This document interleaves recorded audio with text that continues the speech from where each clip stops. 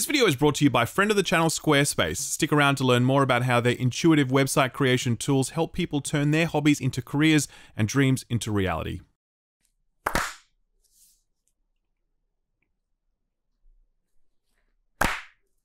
All right, There we go. done.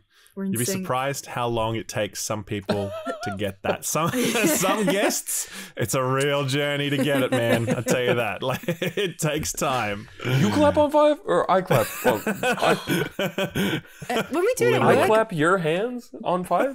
Bacala has Bacala uses a beep because he's such a contrarian. He refuses. really? Yeah, he, he uses a beep Fucking instead of a clap because he's, he's too good to clap. Fucking Bacala. Um, anyway, anyway, Here we are. shall we? because we usually have like a cold open, right? But I don't really have any. Well, I think that was the cold open. oh, what? We're shitting on Bacala because he's not it was clapping. shitting on Bacala and NakeyJakey smashing the clap sync in one take, right? Nailed that's, it. that's rare. Just totally nailing it. Double kill.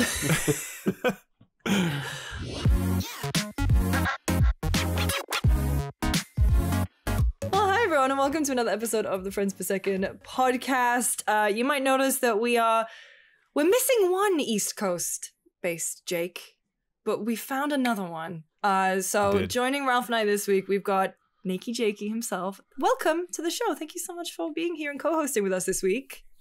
Thank you for having me. It is a divine pleasure that I would not. shit. Wait, hang on. The collapsing, like compliments. He's Divine pleasure. wow. Dude, No one's other- ever called us a divine pleasure, man. Are we even allowed to just say that? Do we need to beep that shit out? Like that sounds just too much. Uh, Dude, that other Jake can fucking hit the road and chop liver, man.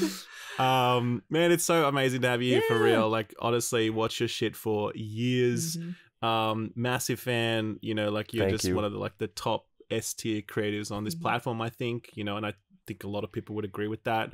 It's really Um, sweet. Yeah, Thank you. truly, just love all your stuff and just love watching you as well Mm-hmm. because like you have so many other interests outside of just talking smack about video games. You got this whole other thing going on, Mhm. and I'm so jealous of that. Like, imagine having other talents and interests outside of video games. It must be nice, you know. Can't that's, imagine that's, it. that's so admirable, you know. Thank Um, you.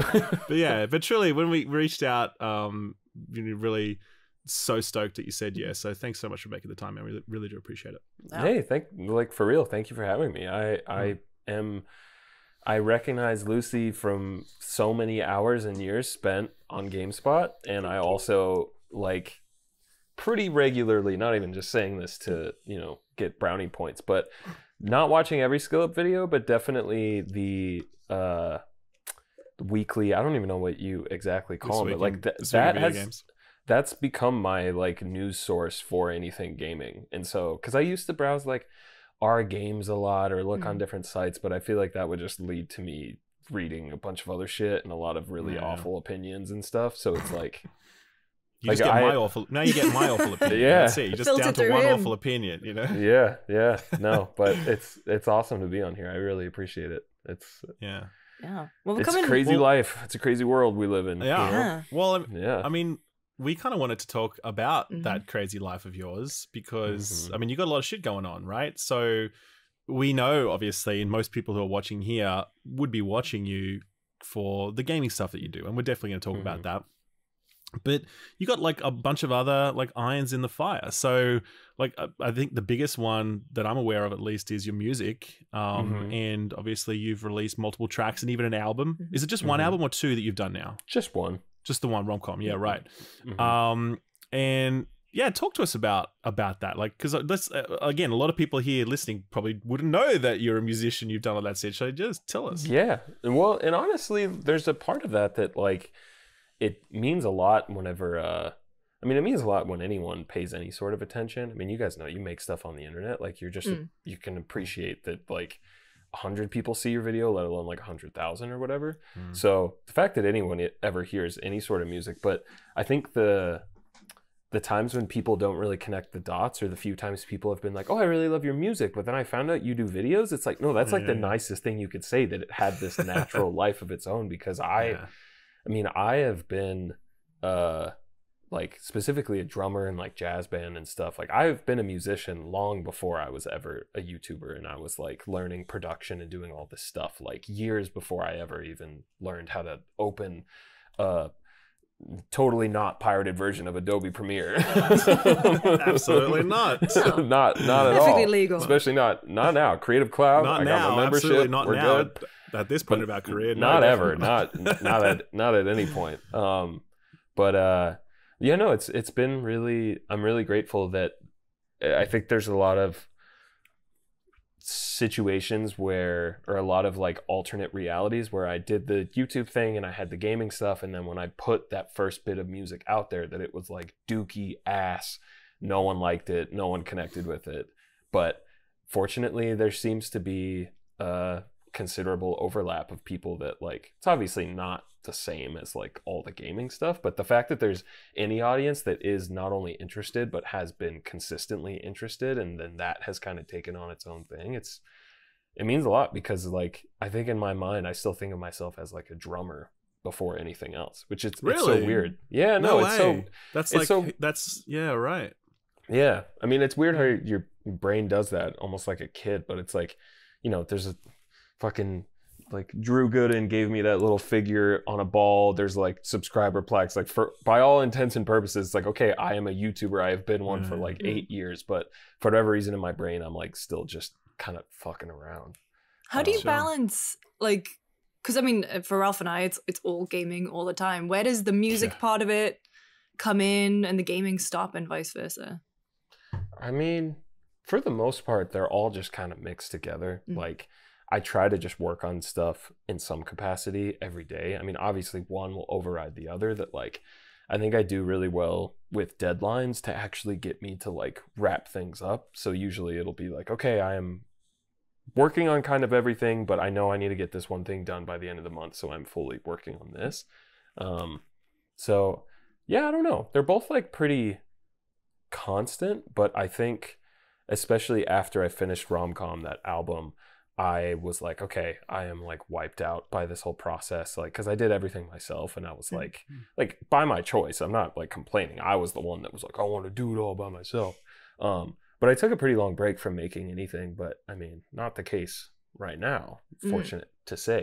Um but yeah, I don't know. I guess there's not really a simple answer other than just like I am just kind of juggling both all the time. And I, I try to set structured time of like, okay, I'm going to go to the rehearsal space, play some stuff, do this. But it's like, and I'm sure you guys can relate that I'll try to block out time. Like, I'm going to write a video now and I'm going to do this now. But then it's like 2 a.m. and I'm like, oh, but what about this thing? And then I'm writing all night. And then the next day I sleep in all day because I was up all night and then I don't do it. So it's, yeah.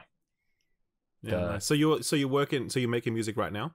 hmm Oh yeah, Mhm. cool. Okay. And is there like a is that is that like a process that you just like it's done when it's done? And you're like, nah, man, I'm gonna be done in nine months. I'm gonna have an album out. Like, Well, it's kind of both because it's Yeah. it's uh like I said, I I if it's a classic thing like if I didn't have any sort of deadline, I could keep tweaking on stuff and working on it forever. That I think I'm finally starting to learn whether it's with music or videos that there's actually like a lot of beauty and good in being like, okay, I ran out of time and that's just it and I did the best I could instead of that being like a stressful thing. I think that that's Mhm. like um I think it's the whole like perfection is the enemy of done. I Mm. think I've I've heard that, but Sure. uh, but you know, with music stuff, I mean, I'm I'm like, I can't. I've learned my lessons in the past of giving a date and then completely missing it. So it's like I'm I'm I'm not near saying any particular date, but there are like plenty of things that are in the works that I'm really really excited about. That like Sweet. I. I don't even want to say any like tentative dates, yeah, but yeah, it's just yeah, like no, it'll it, it is it is like both are happening though like music stuff video stuff like they're Sick. there's yeah things are cooking That's cool. yeah And there's other stuff that you got going as well because in your Mhm. latest video you revealed Ball Creative. Creative in our pre-chat, I, I "Was it called Creative Ball?" He's like, "No, Ralph, it's Ball Creative." I'm like, "That's a much better Yeah. name." Uh, so yeah, tell us about what that is, man. What's the deal with that? well it basically just started that i was like okay i want to i don't i haven't done a lot of merch just in all of doing youtube and i really wanted to make stuff i did some merch for like romcom i did like a t-shirt and a sweatshirt and they were like really good quality and really limited and i was like okay i really like that um, friends and family really seem to like that and just the idea of like making clothes that it's like it's merch but it's also Mm. just kind of its own thing and it actually is hopefully nice um, even if you don't know what the fuck Red Dead is or like, you know. Um, but then it kind of just so it started as like an idea for merch, which it still is, but then it kind of just became this thing of like, well, I also make music and I also am working on music with others. That's a that's the thing that I feel very okay saying is that like first time first album it was very much just me all me. It's like I am trying to be very collaborative with this second one, Mhm. but along with that I'm also like working on producing some music for like a friend that I think is really talented and all this and so and then the other big thing that it's like I mentioned in the video, although briefly, intentionally, because I didn't want to like make a big thing, is like I know I'm not going to do YouTube forever, and I know that it is like my life path, life's goal to get into game development with my brothers. And so it's also kind of putting the seeds in for that of like, hey, this is just the sort of brand, the creative umbrella for just anything creative that I am working on or I that I worked on with others or that I just support. And so while also just being like clothing merch that is affiliated with Mhm. any of that. So it's yeah, it's kind of just my my creative ball that I'll just Yeah. do whatever with. Yeah. yeah, yeah. So like, I yeah, game dev, and that's so interesting. Like, what what draws you to game dev? Because I mean, I think I think a lot of people think, oh, if you talk about video games, it must mean you want to make a video game. Mhm. And I think I kind of maybe started out like that a while ago when I started Mhm. out this career because I kind of wanted to get into game dev but couldn't. So then I had to do this, you know, because there were like no Mhm. jobs in Australia, right? There's like there's no industry here, Mm. right? So, but then as I went along, I realized that I'm not creative. I'm not good at coming up with new ideas. Like I'm good at like figuring out what doesn't work. You know what I mean? Mhm. I'm not good at coming up with the solutions for what does work. And so I'm interested to hear like your journey about that, like in your relationship to game making versus games criticism and how you see that personally.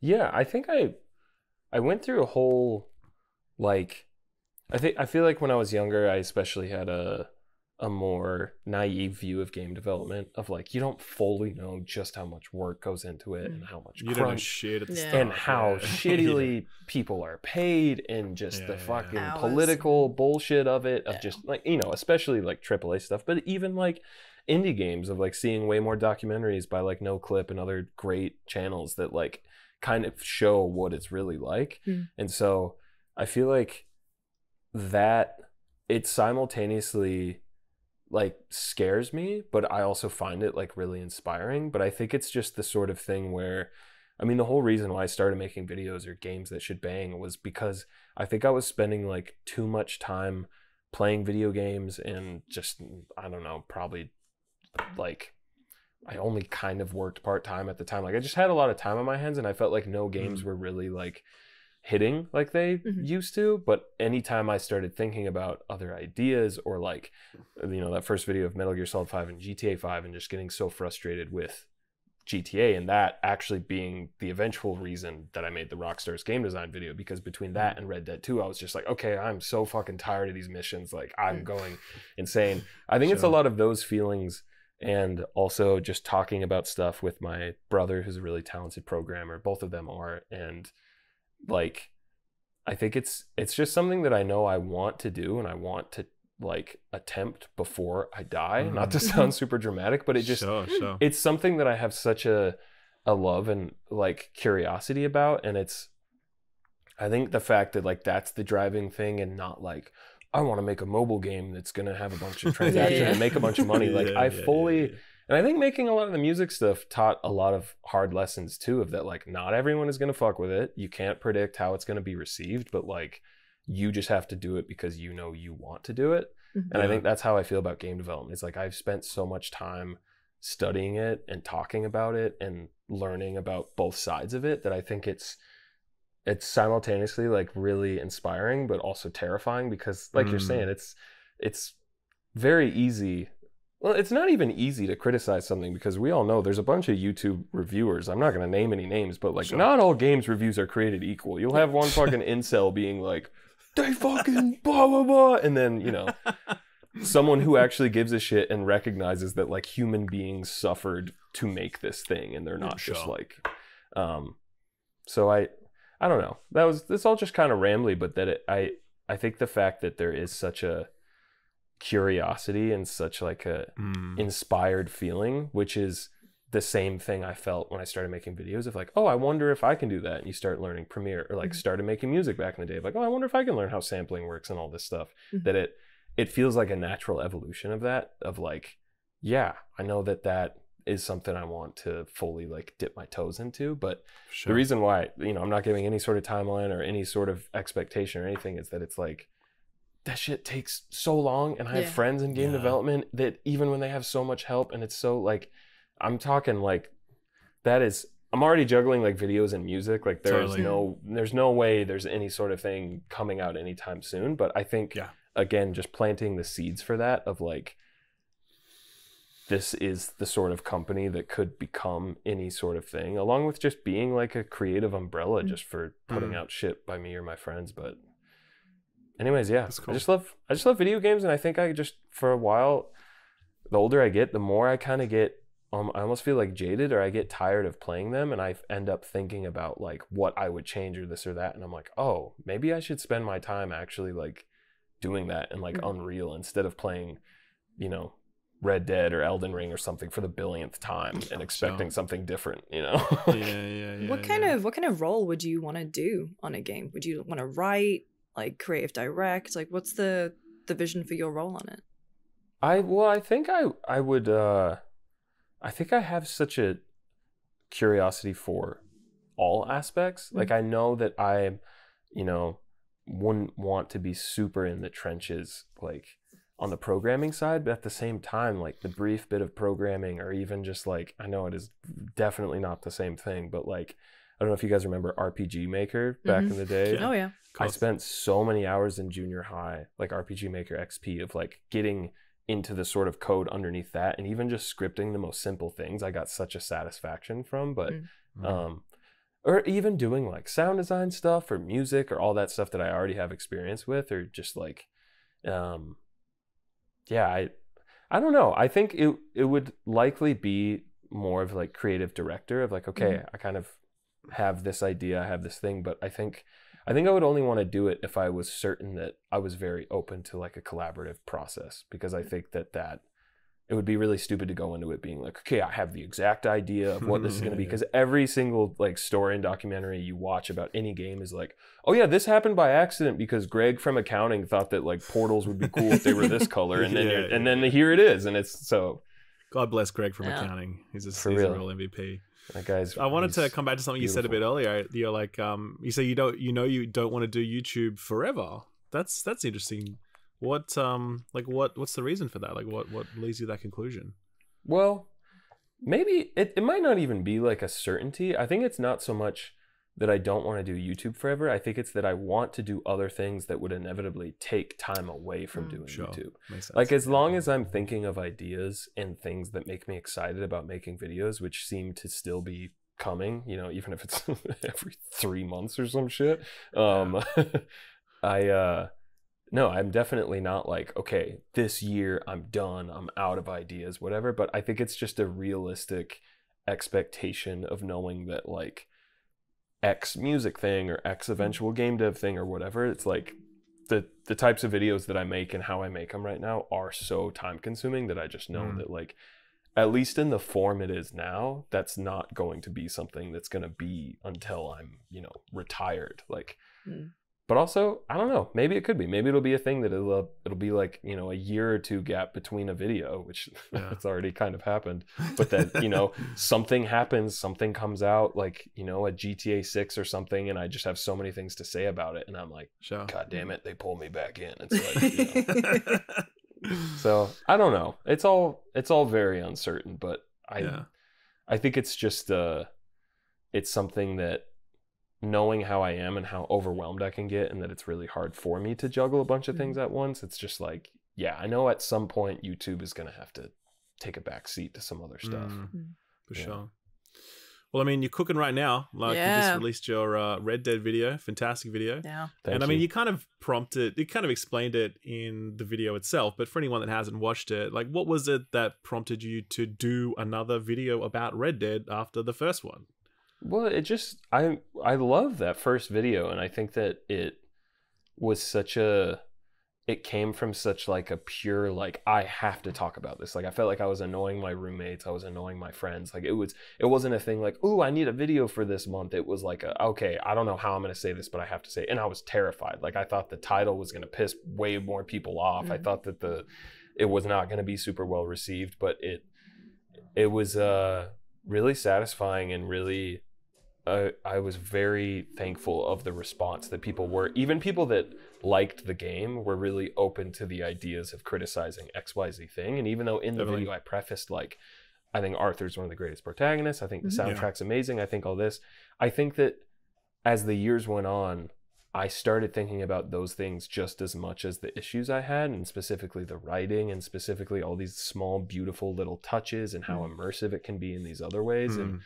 I think, particularly playing it on PC and it just kind of eating away at me, I was finally like, okay, I want to play this again. And then as I started fucking around with the mods and stuff, that was the point where I knew, like, all right, I gotta, I gotta talk about this more. Like, I'm having a lot of more feelings about this game. I want to talk Mm. about it. So, it yeah i think i think it, it stemmed from like a wanting to again even though i already prefaced i think wanting to give it more space to be like yes it is flawed but also it's really beautiful in all Mhm. these Mm. different ways and i i think that also just comes from a place of not always wanting to just be like a like a critic like i i love i love watching things that criticize something especially like you know people's breakdowns of like Elden Ring or something that's like man that might be the best game I've ever played but holy shit it is so flawed especially playing it again right now it's like I love it but like so imbalanced it's so many of the Sure. dungeons are dooky like you know but just that I think that there's and on my own channel too it's so much easier to write jokes and to talk about something when you're dunking on it that I think that Mm. sometimes it can be good to also be like, hey, this is also really sweet, and there's a lot of Yeah. things to really appreciate about it. But I, that's not always the most entertaining. But I think that I thought about those aspects, and I've like loved Rockstar's games for so many years that I'm like, Mm. yeah, this feels right. I wanna, I wanna talk about this. Mm. Yeah. I think it's like it's quite natural, I think, to face some of those really massive gaming experiences and have a response to it in the immediate that then transforms into something different later on, you know? Mm-hmm. Because I mean, Mhm. I remember similar uh, quite similar to you with Red Dead, right? When I played Red Dead, I'm like, this is easily the best written video game I've ever played in my entire life mm. hands down. That was immediately apparent to me. And like the scenery and the vibes, whatever. But at the same time, because I was going through a process of reviewing this video Oh, yeah. game, you're like, you're look, viewing it through the lens of like, okay, that's all great, but what about this thing that doesn't work and that thing that doesn't work? And so a lot of your thought space is taken up trying to analyze the components, right? And then put out a thesis about what you think works and doesn't work, right? And then you set mm-hmm. it down and then you walk away and you're like, okay, cool, whatever. And then three years later, you're like, well, what do I remember about Red Dead? Do I remember the clunky shooting? I mean, sort of, but do I give a fuck? Not really. Mm. Like, I remember just being absolutely floored by certain moments in that game when the soundtrack when the soundtrack kicks in. Oh my or God, When yeah. like when like you know when that that moment where they're walking up to the house, like the, the whole Oh, gang, immediate like that's just like wallpaper. you just see shit. that Yeah. it's just like you just like you just chills when you get that Mhm. shit right so and that's a few years on if you were going to like make a video on red dead now yeah you could absolutely nitpick its little components but you're probably more likely to do what, exactly what you did which is like Mhm. just talk about the fact that hey holy shit this is a pretty fucking remarkable piece of software you know what i mean Yeah. um, which is nuts. And I think I had something similar with like Sekiro, for example, where I'm like deep in Sekiro. I'm like, God damn this fucking game, and like this bullshit boss and whatever, and like you're angry at it. And you you just like, I'm so shit. I keep dying. I'm so bad at this, whatever. But then, and you finish it, and you have like a lot of frustration in that moment. But then two years, three years later, you look back on it, and you're like, well. That probably was the best melee combat in history. You know what I mean? It's probably uh, if it's not, it's up there. You Mm. know, um, so I think it's like an interesting journey to to do that. Would you do you think you'd go back and do that for any of the other like stuff that you've covered in the past, like any other videos, anything else you've played that really like rings out like that? I mean, the thing is that it's like I've thought about it with. I mean, the only other really like it's like we were talking about before of the three like game design videos. Like I made one about From Software that was it was more Yeah. positive and more just about their journey, whatever. But Mhm. that of like Last of Us and Starfield, that I've like I think naturally after making this video too of not wanting to follow some formula like oh no I'm gonna go back to this other video that had a bunch of views but like just toying around with the idea of like well do I have like a drive to want to revisit The Last of Us Part Two like for example and it's like no I Yeah. really Definitely don't. I I I spent well, and same with Red Dead. That everything you're saying is so true. That like it being our job while I'm playing Red Dead, obviously I'm like taking notes and thinking about Yeah, all these different Mhm. things. But at the same time, I was simultaneously just that kid that's obsessed with Rockstar. That was like fully getting immersed, and a lot of those criticisms came actually from that side of that person just wanting to enjoy this game and playing it for like 13 hours a day, but running into all these things that are like Mm. like uh, pattern recognition of like, wait, why is Rockstar doing this, but they're not doing this and this and and it's just, it's uh, yeah, I I think of any video I ever made, I think I spent the most time on the Last of Us one because Right. not even just because it's like 50 minutes long and I think it technically might be my longest video, but because of the writing.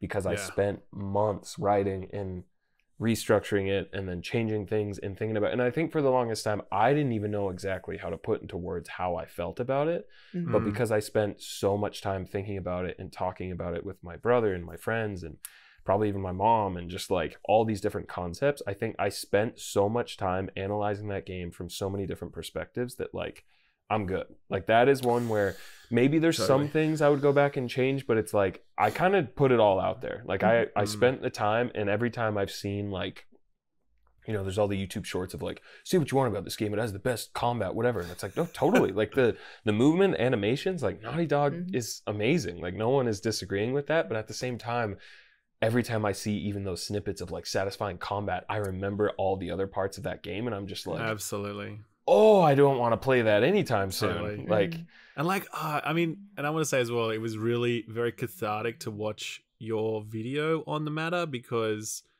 yeah, the whole discourse of The Last of Us was the worst. It was the worst of all the discourses, right? mhm. And uh, and I think because I obviously did not like The Last Yeah. of Us. And it kind of got bound up in this. There was generally this perspective of like, if you didn't like The Last of Us, it was because like Abby was buff or whatever. It's like I don't give a fuck that Abby Mhm. was buff. You know what I mean? I just care about like the fact that this I do not believe is a well written video game, and I do not believe that its gameplay is really popping off and like connecting with the message that it's trying to convey. And I think some of the themes that it was trying to prop up were quite simple and whatever else. But I think a lot of that criticism didn't bubble up to the surface during that. Also because at that time. Like Sony, I, you couldn't really advance that argument in the initial reviews. By the way, well, you weren't allowed to talk these- about Abby. you weren't allowed to talk about in that initial batch of reviews. You weren't allowed to talk about the fact that Abby is a playable character, which is wild. You know what I mean? yeah, I So- do not envy you guys. If like, I assume you both played it before release in Yeah. Yeah, but I- for I don't- it. I don't review things. I the last game I reviewed gave a scored review to was Persona 5 back in 2017. Yes. Uh, What did you give it? 9 out of 10. Um and then when we re-reviewed so it fans never for very mad. No, no, no, actually Where's what's the missing one, Lucy? Huh? because Huh? Uh, I thought the fi- I thought the ending boss gauntlet was absolute bullshit. There was other st- there was other stuff in there that like just kind of stopped it from being a ten. But then when Royal came out, Michael Higham re-reviewed it and gave it a ten out of ten. I was like, yes, Royal is the better game. Like I agree with this. yeah. But ultimately, like to what you've both been saying, it is a different experience when you're playing a game just to play it versus playing a game to be critical about it and having to then deal with the pressure of having to articulate your thoughts so you're not misconstrued Yeah. in any way. Not that it matters in It's online misconstrued anyway. Yeah. uh never happens but no i remember last of us being 2020 Very in general with last of us and cyberpunk review shit it was It's a uh it was a nightmare so I, I don't envy you ralph in Well, this yeah, that was that was that was a tough one. So I mean, and that that speaking to that, I mean, that actually just reminded me of like different people have commented or said, understandably, of like, where's the cyberpunk video? Like, where's this? Blah blah blah. And I think mm-hmm. it's the thing with that is it was its shortcomings were so blatant, and there were so many videos about it Yep. that I was like, I have nothing of importance or interest Totally to add to this conversation. It was like. I've seen the glitch compilations. I've seen this thing, and it's like Mhm. that's one where maybe years later it actually would be interesting to revisit. Um, absolutely. but, But like it, it, it's the same with Starfield for me Yeah. because I mean, I was like, "Where's your Starfield review?" I'm like, "Dude, there's nothing left to say about Starfield. It's No. all been said. There is nothing else to say, you know. And I actually Yeah. just re re rewatched your Starfield review recently, and as I said, I've only played like a couple of hours of it, right? Mhm. And I don't have any desire to play any more of it, but also because I just I consumed a lot of Starfield discourse. Like, what else is there to say about this video game? I'm I'm very certain that if I was to put 50 hours into it, I would come to the same conclusions as most of the people that I, you know, that I follow and respect and listen to. Yeah. You know what I mean? Yeah, So, no, um, I mean- totally. and that, yeah. Oh, sorry. Go ahead. Oh no, I was gonna say I'm I'm also just guys, I'm in my thirties now. If I'm not in, if I'm not enjoying something, Sure. I'm Yeah. not gonna stick around with it. There's so much else going on that I could be Oh my god. yeah. spending my time on and enjoying more. And one day, Ralph, I will play Outer Wilds. I will do that for you. I, but- I You still need to bet. play that too. Oh, You yeah. both told me to man, play come it. on now, please, See, please. the, the like everything you just described, and I've already spent so much time thinking about it and making that video, but like that feeling you just described that I feel like I feel way more often now is like that perfectly encapsulates Starfield for me. That it's Mm. like the shooting sucks. You could be playing this other shooter. The RPG Yeah, aspect sucks. yeah. You could be playing this RPG, and then like Baldur's Gate. Like, come on! Like, you're really gonna? Mm. But there's just even the yeah, I mean I already made a whole video about it, but it's just like even the stuff that usually Bethesda can say like we can do and no one else is doing, like it just was not there for me at all. And it was I think like the other videos it I wasn't even initially planning on making like another outdated game design video, but as I was Mhm. playing it, it was that same feeling of like, oh fuck, clearly I have a lot to say about this. And Yeah. I like when you can't stop thinking about it and talking about it with your friends, usually that's a pretty good sign of like, okay, there's there's something here to be made or talked about or whatever. But Yeah, I I guess like connected with that, you know, it's a bit of a convoluted question, but like you've got three videos. X is out outdated game design, right? It's it's um, Last of Us with Naughty Dog, it's Starfield from Bethesda, and it's um, Red Dead from um, Rockstar. That's Rockstar's like the biggest independent game maker, realistically, if we're talking about revenue, right? And Bethesda is kind of, I would say, like the crown jewel within uh, Microsoft's holdings right now, except for, I don't know, they obviously just acquired Activision Blizzard, but that's a line ball call. Uh, and then Naughty Dog is obviously the jewel in Sony's crown. Do you think that that those like three videos, that body of work, like constitutes a broader commentary on the nature of AAA video games and their game design and the overall momentum of the AAA industry, or is it like, nah, that's just three games from three studios. Overall, AAA is in great shape. How do you feel about that? mm, I feel like even if it wasn't intended on my part fully of it being any sort of like bigger message, I think that just in the the material itself, I think there's a clear pattern and a clear thing that it's like, I know me, I know my interests. I am, you know, running a modded version of Max Payne 3 on a Steam Deck. Like, who the fuck is playing Max Payne 3 on a Steam Deck? Like, I know the things that I like, but I think my personal opinions aside, I feel like there have been a consistent amount of things in AAA space that, Mm. you know, there's a Venn diagram of like even those three videos of like, yeah, they all have their separate stuff, but I'm sure there's some stuff that definitely overlaps and Hmm. specifically of like, oh, is that my mic? Yeah, a little laugh. Specifically, like, you know, least of, well, not the least, maybe most of, like the treatment of the employees. Like, I Mhm. think that Mm. it's that I feel like that's a consistent factor with all three of those games. Is there's at least some reports of like crunch, and I like, I've had I don't think that I think I already said it in a video. Like I have a friend that worked on The Last of Us Part 2. Like I Mhm.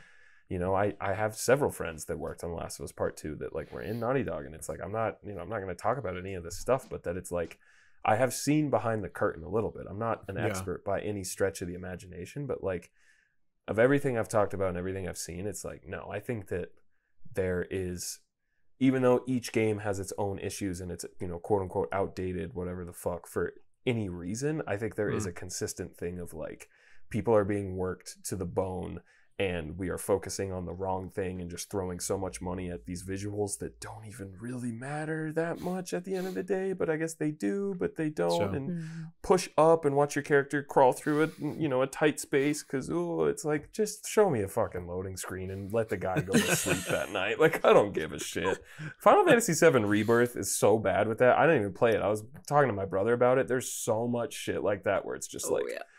forced slow crawling and it's like who is this for i Sure. don't know not. Okay, having said that, I do feel Final Fantasy VII Rebirth is pretty fucking amazing. Uh, Oh, yeah, it's I mean, it's absolutely, incredible. I watched- it's I've- full of that bullshit for sure.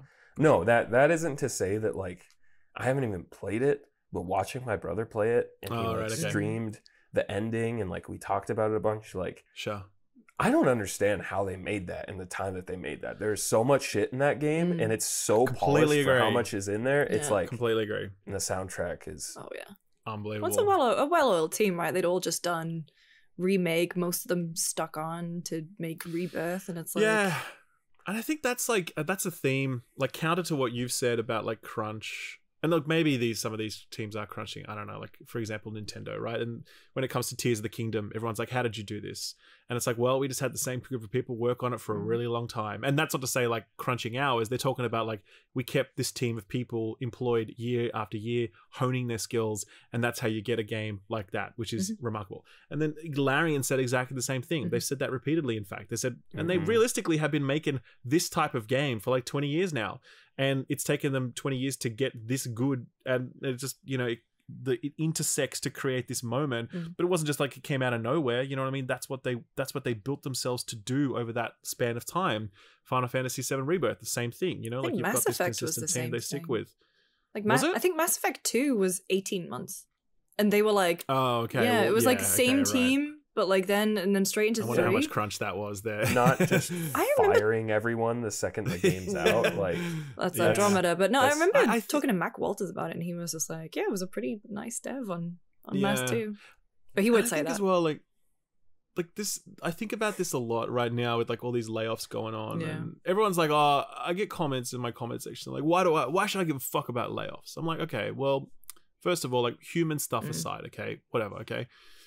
Realistically, there have been in excess of twenty to twenty five thousand people who have left the games industry Mm. over the last like fifteen months.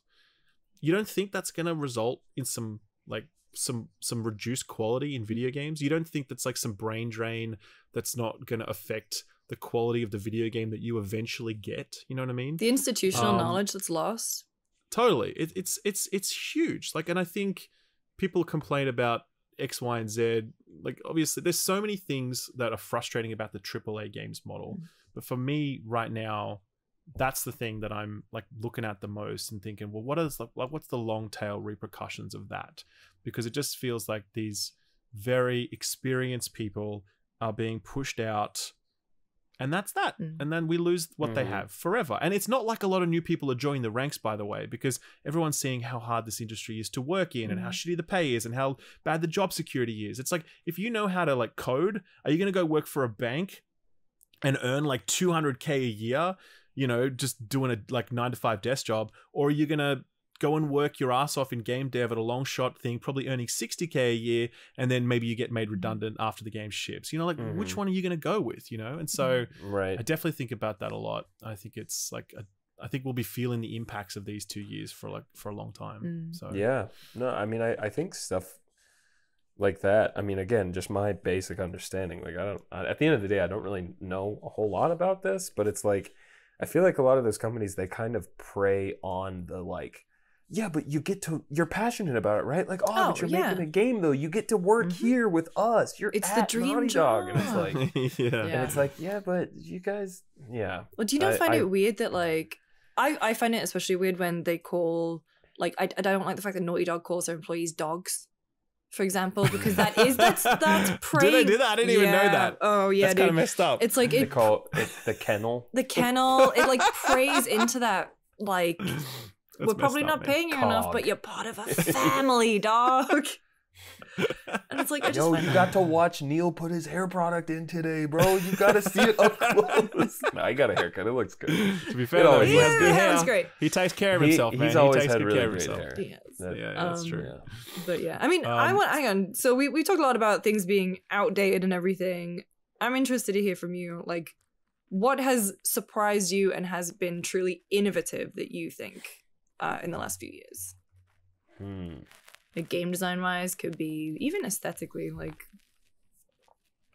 I mean, on the hardware front, definitely Steam Deck. Just Mm. the fact that the form factor and everything means, and I've seen the sentiment from other people, but I have such a weird commitment thing where, like, the act of turning on the PS5 and picking the game and doing all this, or even sitting at my computer, it's such like a, ah, but I could be working, or Mhm. ah, I have to open Steam and pick a game, whatever. Like, there is something to be said of just the fact that like you could turn it on and immediately resume whatever you were doing. Yeah, it's yeah. this it it fits the lifestyle that I feel like a lot of us have and our like attention spans that I think that it has made for like some meaningful experiences like revisiting games maybe I hadn't played otherwise or Mhm. like really getting into stuff like Slay the Spire or something like that that I like didn't even know I was into a game like that and I'm like damn so I mean that's one that in the past few years I feel like has had a hold on me but um yeah I think of course I'm drawing a blank right now but I feel like there was something Outside of FromSoft stuff. Yeah, I mean that's the Mm. thing is that I, I think that experimenting more with mods and like fully realizing and playing around with the idea that like you can potentially change this thing that you've already experienced for it the better or make it funny or whatever. I think that that's something I've paid a lot more attention to. But man, I don't know why I'm like blanking right now in games that I'm blanking on I my own played. question, so it's okay. I'm just like, yeah. I think it's like interestingly, like when you think about innovation, I don't know. I think a lot of it happens outside of the AAA space. A lot of it Mm. in that indie space. Like you look at Balatro, and you're like, well, it's another deck builder. It's like, like, yeah, it is. But- There's nothing else like Balatro, man. Like you play for Yeah. five minutes and you were fucking Mhm. hooked. You know? I still haven't Um, played it. I just watched Game ah. Maker's Toolkit on it. Oh, and I, Yeah, uh, so right, right, right. Yeah, no, So- I, I, I want to try it. It's the Inscryption before that that kind of like Mm. x factor obviously Outer Wilds well before that that again that was an indie title from from um from annapurna um yeah like a lot of that space and and as well i think a lot of the innovation actually happens in Fortnite, which is fucking crazy, but it is like that kind of like those dude, Lego platforms. Fortnite. I was Mhm. I was in that. Yeah, That's a good game, man. And obviously, it's not like super innovative, but like in aggregate, if you look at those platforms like Fortnite and Minecraft and Roblox, those like user generated content platforms, the way that they're able to create new experiences so quickly is genuinely fascinating. And it's such a blind spot for us in the way we talk about video games mm. because we just like, we're like, let's play Elden Ring again. Like, for sure, absolutely, of course. But then we're not going to step in to really like truly understand the epic games like unreal and fortnite ecosystem and what that creates because if you start digging around you very quickly find some incredible shit you know yeah. no, Um, I, I I think that that that was a good reminder. That I feel like a lot of the time I have been gaming in the past year. I'll usually be playing with my nephew who's about to turn eight, and it's like he has an iPad and now he has a Switch because I gave him my Switch, Mhm. and so I think that just you talking about all that and Fortnite and you know stuff like Minecraft is cross-platform. Like I would give up having a PS6 or like advancing hardware-wise next generation if it just meant that if anything that's multiplayer is cross-platform. Like Mhm. it's so valuable and so convenient in the fact that we could play like Minecraft or Minecraft Dungeons or Lego Fortnite or um trying to remember another cross-platform game. I mean, really just a lot of Minecraft. warframe I think that yeah, we haven't probably a bit old for an year old but like he's getting there he'll get there Yeah, no, he will. And uh I think that's actually something that in the past couple of years I feel like I've thought about a lot is how much Hmm. cross-platform is just so like not only convenient but that it it it really does change the whole conversation of like Mm. consoles and exclusives. I mean, it's the whole Xbox conversation, right? Of Totally. it, like totally the fucking fanboys being like, "No, our exclusives," and then other people being like, "No, this is good," and it's like, I mean, I'm sure you guys have all sorts of opinions on that. I don't, I don't understand what the fuck they've been doing over there. I don't know why they called it the Series SX. I think that's the Dude. worst branding Oh, ever. It's Like such a God. mess, man. It's, it's such a mess. that's the tip of the iceberg. But every time they announce they're doing something else, I'm like, dude, I'm rooting for you, but like you guys are on your way out. Did you guys hear? is- Did you hear this week when they talk about like putting the Epic Game Store on the Xbox console? Did you hear this? No. Mm-mm. That's what Phil Spencer said last week I at G- or two weeks ago. oh. at Phil's always He's like, saying something, man. Phil's Like, Phil's saying just- shit. I It's a. It's yeah. I'm It's a moving to. PC. I'm a I'm a PC boy now. I You're a plug- PC I'm a boy PC now? boy now. No, I console console That's lady two announcements. PC boy. it's plugged in to my TV. I the last time I turned on my PS5 was to play Final Fantasy, and before that, dunno. X- Yeah, my, but X, Bloodborne my for the Xbox, seventeenth time. Bloodborne, yeah, yeah, yeah. Xbox, like, I don't even, know, even I less. still- I just I still feel like that matters though. Like I still feel yeah. having a box that has some exclusives matters because that has a whole thing attached to oh, it. oh, Oh, it does. totally. It does. First party publishing and and the prestige associated with that, the money that goes into Yeah. it, the focus, like all of that, I think it really matters. And like, you know, I was just talking about this this week in my video where I'm like, I mean, basically, I have a PlayStation, I have a Switch, and I have and I have a Steam account. Okay, I'm never not going to have one of those three things Mhm. unless those companies really fuck up or they like pivot in their strategy. Mhm. Okay, which maybe they will, but right now, Nintendo, for example, is not going to pivot. Yeah. They are going to keep doing exactly the same thing forever. God bless them, right? Mhm. And it's kind of like that is nice. And Microsoft doesn't fit into that picture at this point. And they did back in the day, you know, like they really did in the 360 era. And they wanted to do that. They wanted to get back to that in the Xbox One era. And that set them up really well for this current generation. But they just it just didn't work. And now it just feels like they're like, well, that didn't work. And now let's just go third party. And I just think that's such a bummer. I'm really disappointed with it seems as though they're kind of like throwing in the towel a little bit rather than Mhm. trying to fight to be a place that you would always want to have an Xbox sitting under your TV. They don't. They just. They don't want that anymore, and I think that's a real shame. I Um, think it's yeah, a I'm not loss really- for everyone. I think yeah, so. I Totally, think I think it's it's a loss for like the competition and for exclusives, and it's just also for Microsoft itself. Not that that they're like running out of money, but it's like man, Xbox is just. I feel like it keeps shooting itself in the dick. Mm. Just every step, it's just like. Yeah, All right, yeah. we're gonna call the console this. Okay, uh, the exclusives are on here, but they're also on PC. But now they're also gonna come to everything else. Uh, let's just buy a bunch of companies. Uh, these companies kind of suck now, anyways. Uh, f- Well, fucking that's Candy that's Crush, thing. like it's not even it's not even the race to be a box under your TV now. It is a race to be on its service. It's a race to be on Game Pass, and that's the selling Yeah. point now. And that's And, the like- the digital future that awaits us all. Yeah. And this is the thing, right? I think it's really easy to go, well, really smart people make these decisions. They know what they're talking about. We're Mhm. dumb. Like, really smart people know what they're doing, right? And that's probably true. But it's like, also, sometimes you just feel like you know something really deep down, right? And I know really deep down that like we just you just need a box that just plays really fucking good games you can't play anywhere else. Like I just I know that in my Yeah. bones. Do you know what I No. mean?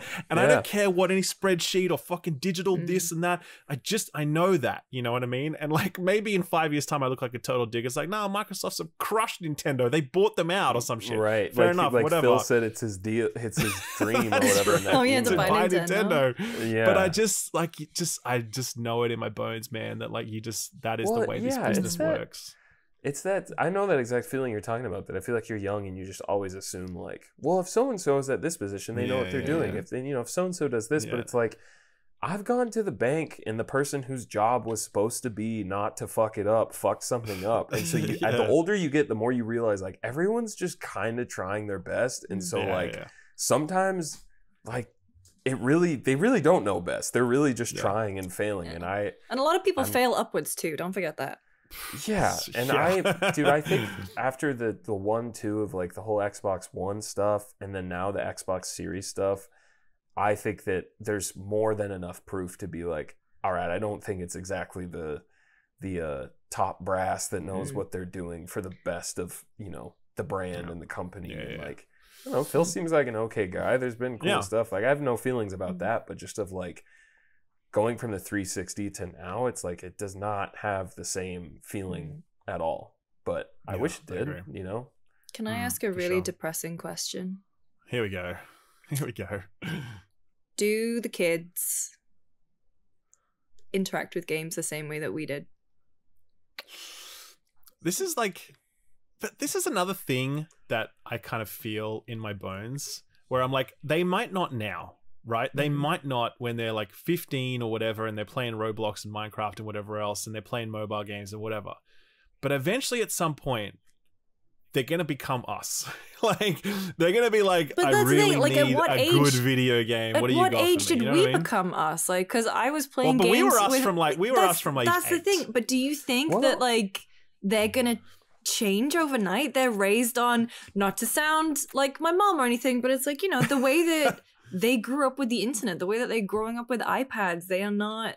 We grew up with desktop PCs and consoles, and that's where we got games from. I mean, I think using my nephew as like a case study, he mm-hmm. was like only playing games on like iPad, but because I mm-hmm. was around and I had my Switch and my mm-hmm. PlayStation, whatever, it was like exposing him to, oh, what's this cool looking game, Mhm. you know, Astrobot, whatever, on PS5, because he Mhm. really liked that. Even when he was younger, he could actually do some of it. It was like, I think as long as there are games that are attention grabbing and interesting on console, people will learn how to do it. Like he learned how to use a Mhm. controller because on an iPad, all it is is simulating a controller anyway. Mhm. So having a physical one, I think it only took him a brief amount of time to realize, like, oh, actually, this feels way better. And so I think, granted, I was exposing him to all that, and I still am. And now he fully, you know, he has my Switch and he's playing all sorts of stuff. And we play like Luigi's Mansion, which Luigi's Mansion 3 bangs. That's like the perfect game to play with him Fantastic game. Mm. Fantastic. it's really fun and it's like perfect difficulty for him but uh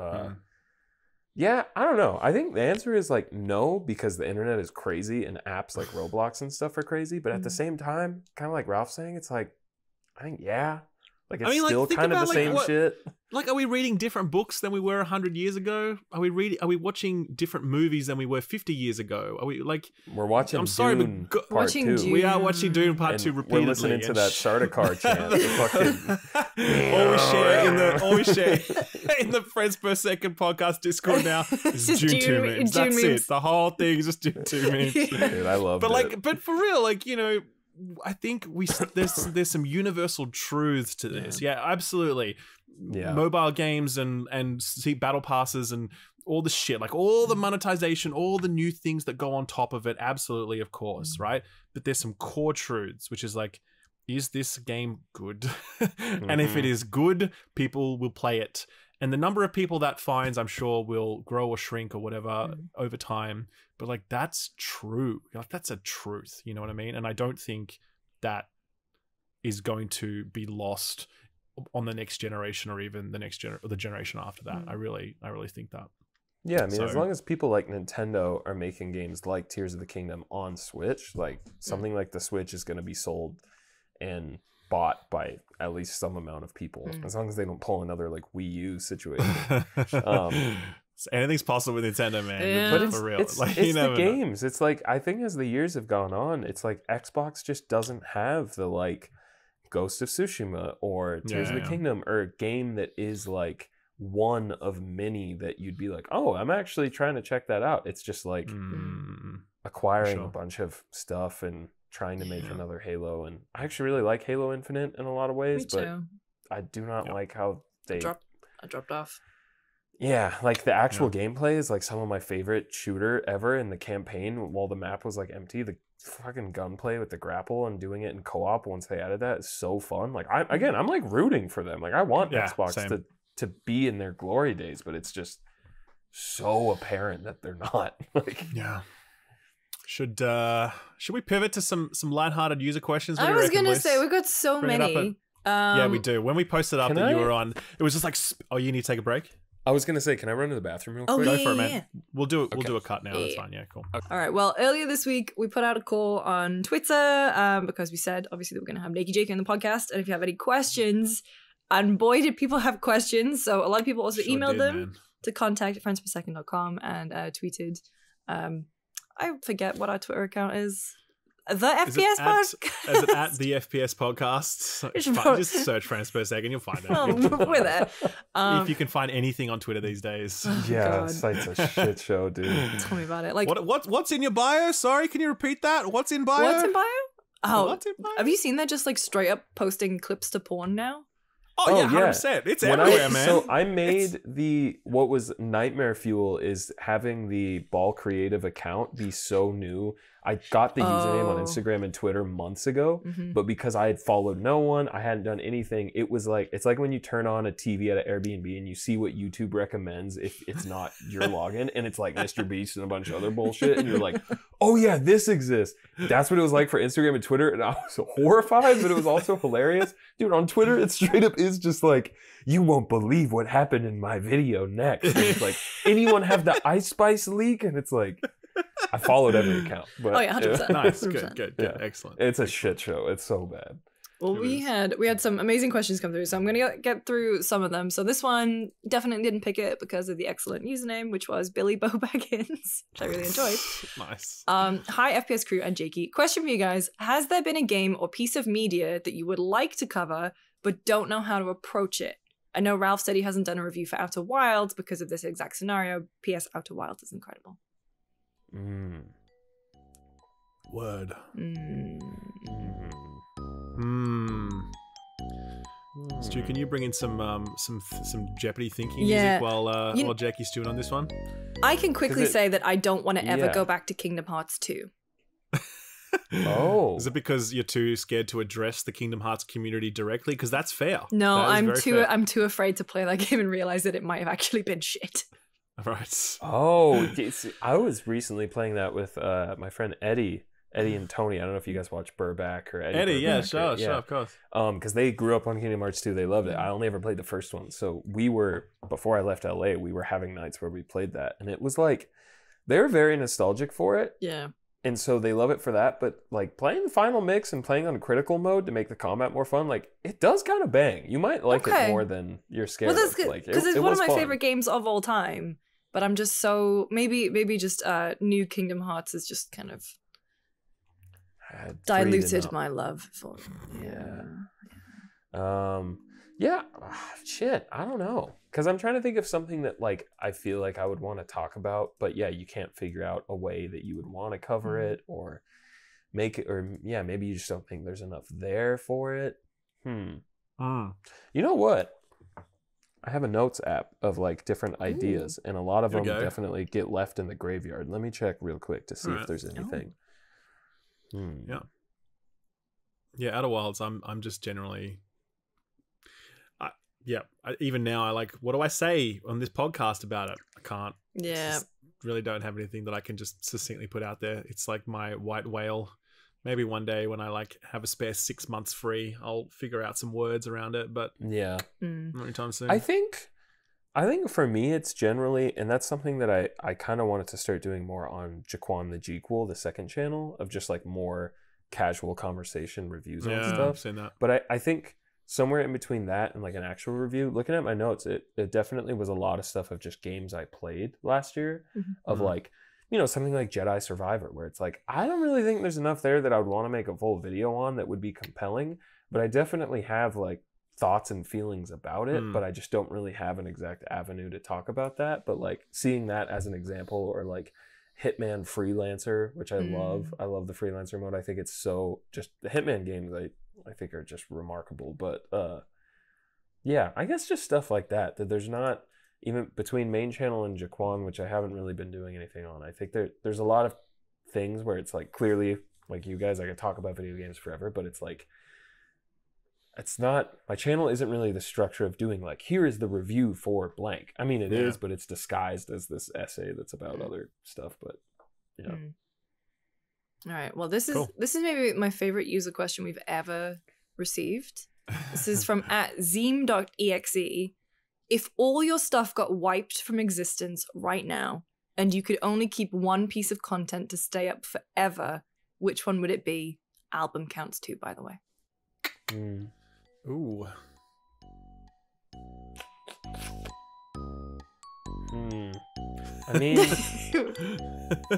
the first the first thought is and it's it's not even because it is like the most viewed but i think that rockstar video i think that Mhm. just like the time i made it how like passionate i was about the things i was talking about and how much it seems that that has resonated with people and that i think i i took some feelings and some concepts that felt really complicated and that i didn't fully understand and then i feel like i presented them in a way that was digestible i feel like I feel like that video sums up so much of why I love video games and what I want out of them that I think the first initial thought was probably that one. And I, mm-hmm.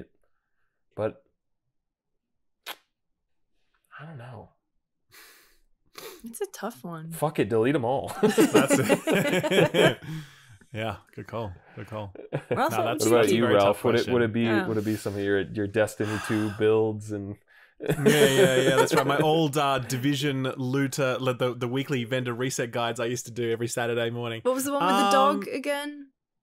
Which one? The one where I shot the dog and the division community got mad. Yeah, Yeah. that's right. That's right. I remember that one. um yeah i mean yeah i think that's really tough as well i think my favorite piece of content that i've ever made is the car ride interview i did with Cory Barlog Oh, you know, that is really good. which is just like Yeah. a I don't think nice I've ever seen that. thing. That's great. Oh yeah, so the so the day that the God of War reviews came out, Cory Barlog was in Sydney, and he like the so he was at Sony's office, and so all the reviews went up, and he was watching all of them, and then the Sony someone at Sony called me, and he's like, and they were like, "Hey, Cory Barlog's here. He would like to meet you. Would you like to come and say hello?" I'm like, "Are you fucking kidding me right now?" So I go over there, and I'd actually met him once before, but very briefly. Um, in um Norway for like a promo thing for God of War back in the day. He didn't remember me. At least I don't think he did. But um we chatted and whatever. And then he mentioned to me, he's like, "Oh, I got to go see my friend George Miller now." Uh like the George Miller. And I'm like, you know, the Happy fuck?" Feet. Ever heard of it? yeah, that's right. His his seminal work Happy Feet. Yeah, yeah. Uh, and he's like, yeah, and I'm like, what's the deal? And he's like, well, he's a he's a mentor of mine, you know, from back in the day, and I'm gonna go over there and deliver him a copy of you know God of War because like you know he means so much to me, and I wanted to do this.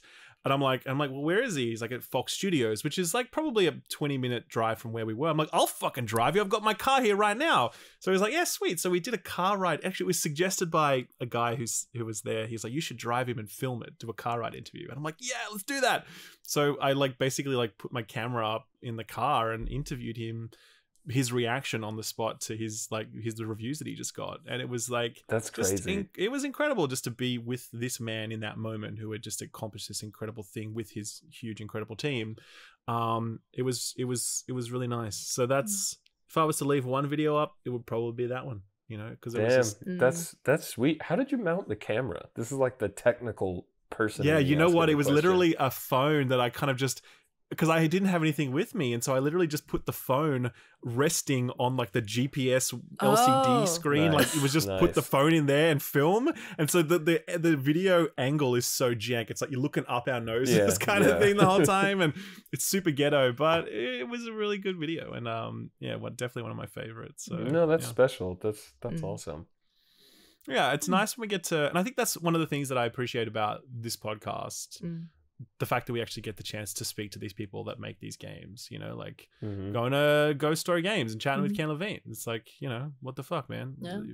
He and his team made Bioshock, and now he's making this thing, and we get to talk to him about all that, and it's, it's fascinating. You know what I mean? And Yeah. we get like we literally have a conversation coming up after this with CD Mm. Projekt Red.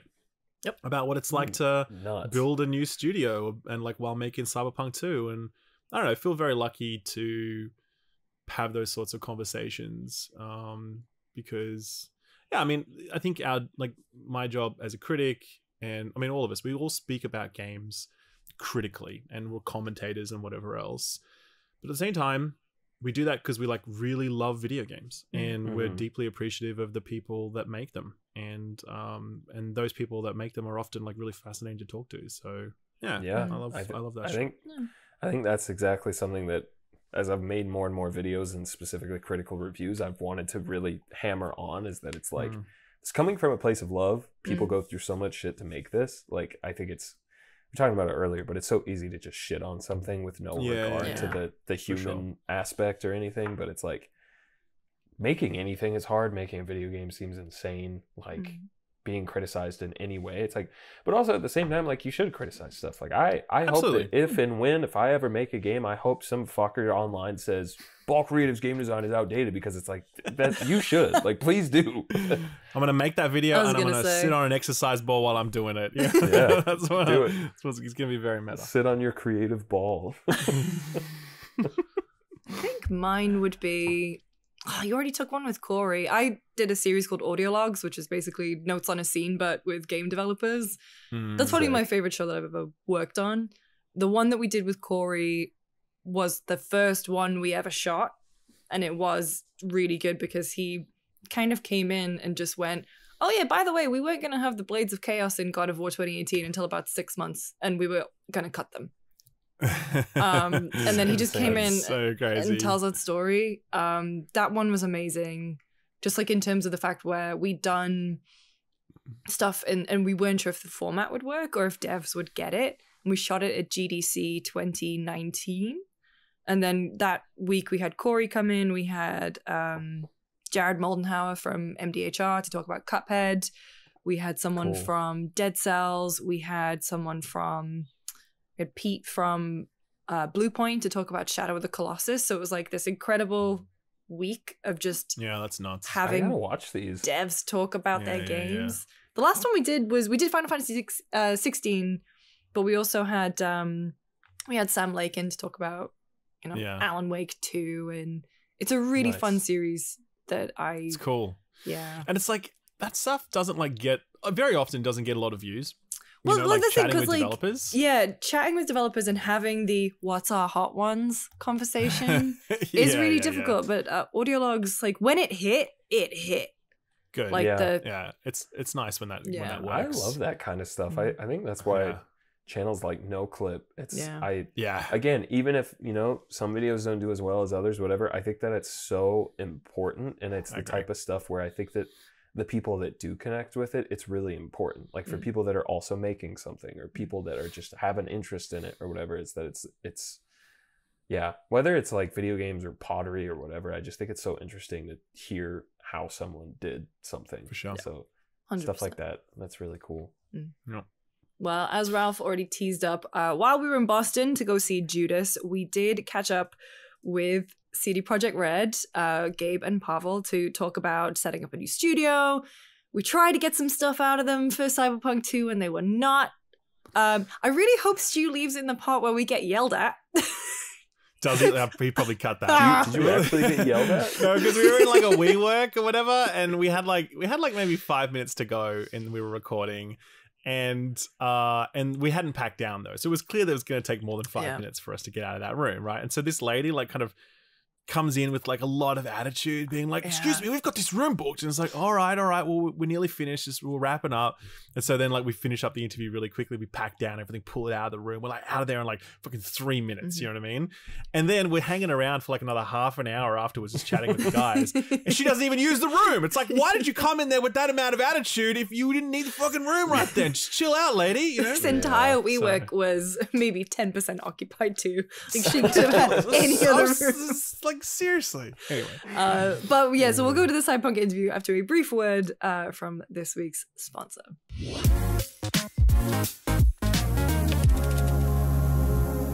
Let's talk about breaking into the games coverage business. A lot of people ask me how to join games media or become a YouTuber, etc. Truth is, there are a lot of paths into this gig. For me personally, I like making videos, so YouTube works.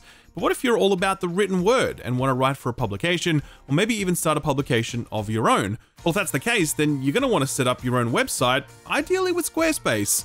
Squarespace lets you create professional looking websites in minutes. They have a whole bunch of really customizable templates you can tweak to your own preference, and in no time at all, you can have space online where you can begin writing and publishing your own work.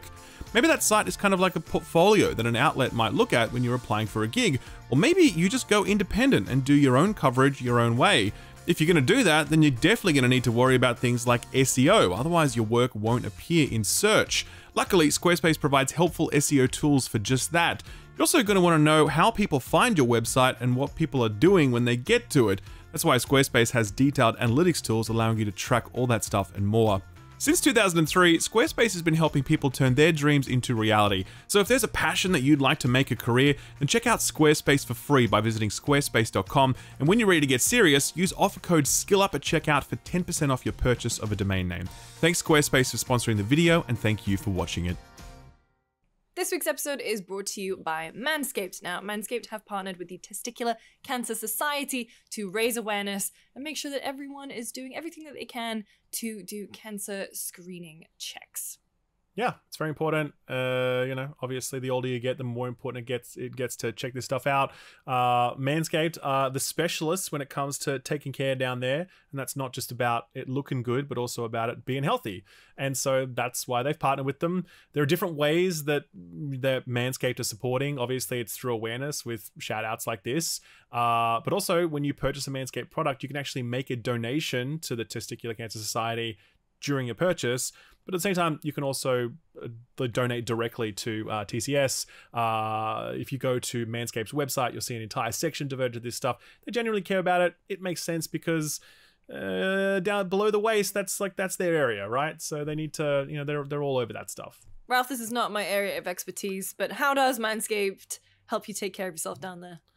It's a very good question, Lucy. For a long time now, I've been using the Lawnmower 5.0 Ultra. It has dual LED spotlights, so you'll achieve better visibility, making every trim more precise and hassle free. If you don't like mess, this thing is waterproof, so you can use it in the shower, which is great. Uh, you can bring this with you wherever you like. It actually just plugs in via USB and it charges, and you can just take it with you if you're ever traveling, whatever else. It's very lightweight. It's very comfortable to use. It the battery lasts a long time. It's just a really versatile, fantastic device that, yeah, as I said, allows you to keep it clean down there. Keep it tidy. Just just keep it in check. You know what i mean? Very important. Um, and if you are of the variety of men who can grow beards i am not of that variety but there's a pro- there's a product for you too. It's called the beard hedger pro plus handyman. Uh, it's basically a you know a trimmer for your beard. And uh, were i someone that could grow a beard i might be interested in that product but unfortunately i am not. But i actually do use their handyman um, electric shaver. It's like you know Oh. Like yeah they mm. actually do use that. I, tr- I take that with me when i travel and it actually is super convenient because rather than having to do a full shave especially when i'm traveling like long haul flight or whatever just like bzzz, and then at least i don't look so grimy when i get off the plane. So yeah that's uh that's manscaped stuff. Been using it for years. They really are the leader in below the waist grooming and also face grooming stuff as well. Um and yeah they also really care about you taking care of yourself. That is why they partner with the testicular cancer society. That's why they're also donating $50000 to the testicular cancer society. You can help save lives and balls by going to manscaped.com forward slash tcs and sharing their funny educational check yourself video. And while you're at it grab 20% off plus free shipping with code friends because like a famous american philosopher once said take care of your chicken your balls and your mentals Which What? What? the British and the Australian, like Did- what? Did they say that? Is that something that a famous American? It's in the brief, so I'm going to assume that they said it. Okay, that's manscaped.com forward slash TCS, and you can use code FRIENDS for 20% off plus free shipping.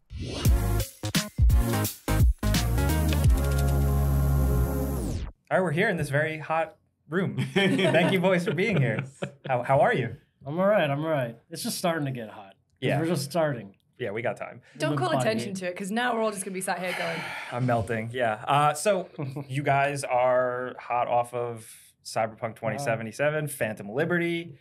Everything is going well. How how is the feeling? Because last time we talked to you, it was right before Phantom Liberty. So now that Mhm. we're post Phantom Liberty, how are you feeling? How's the team feeling?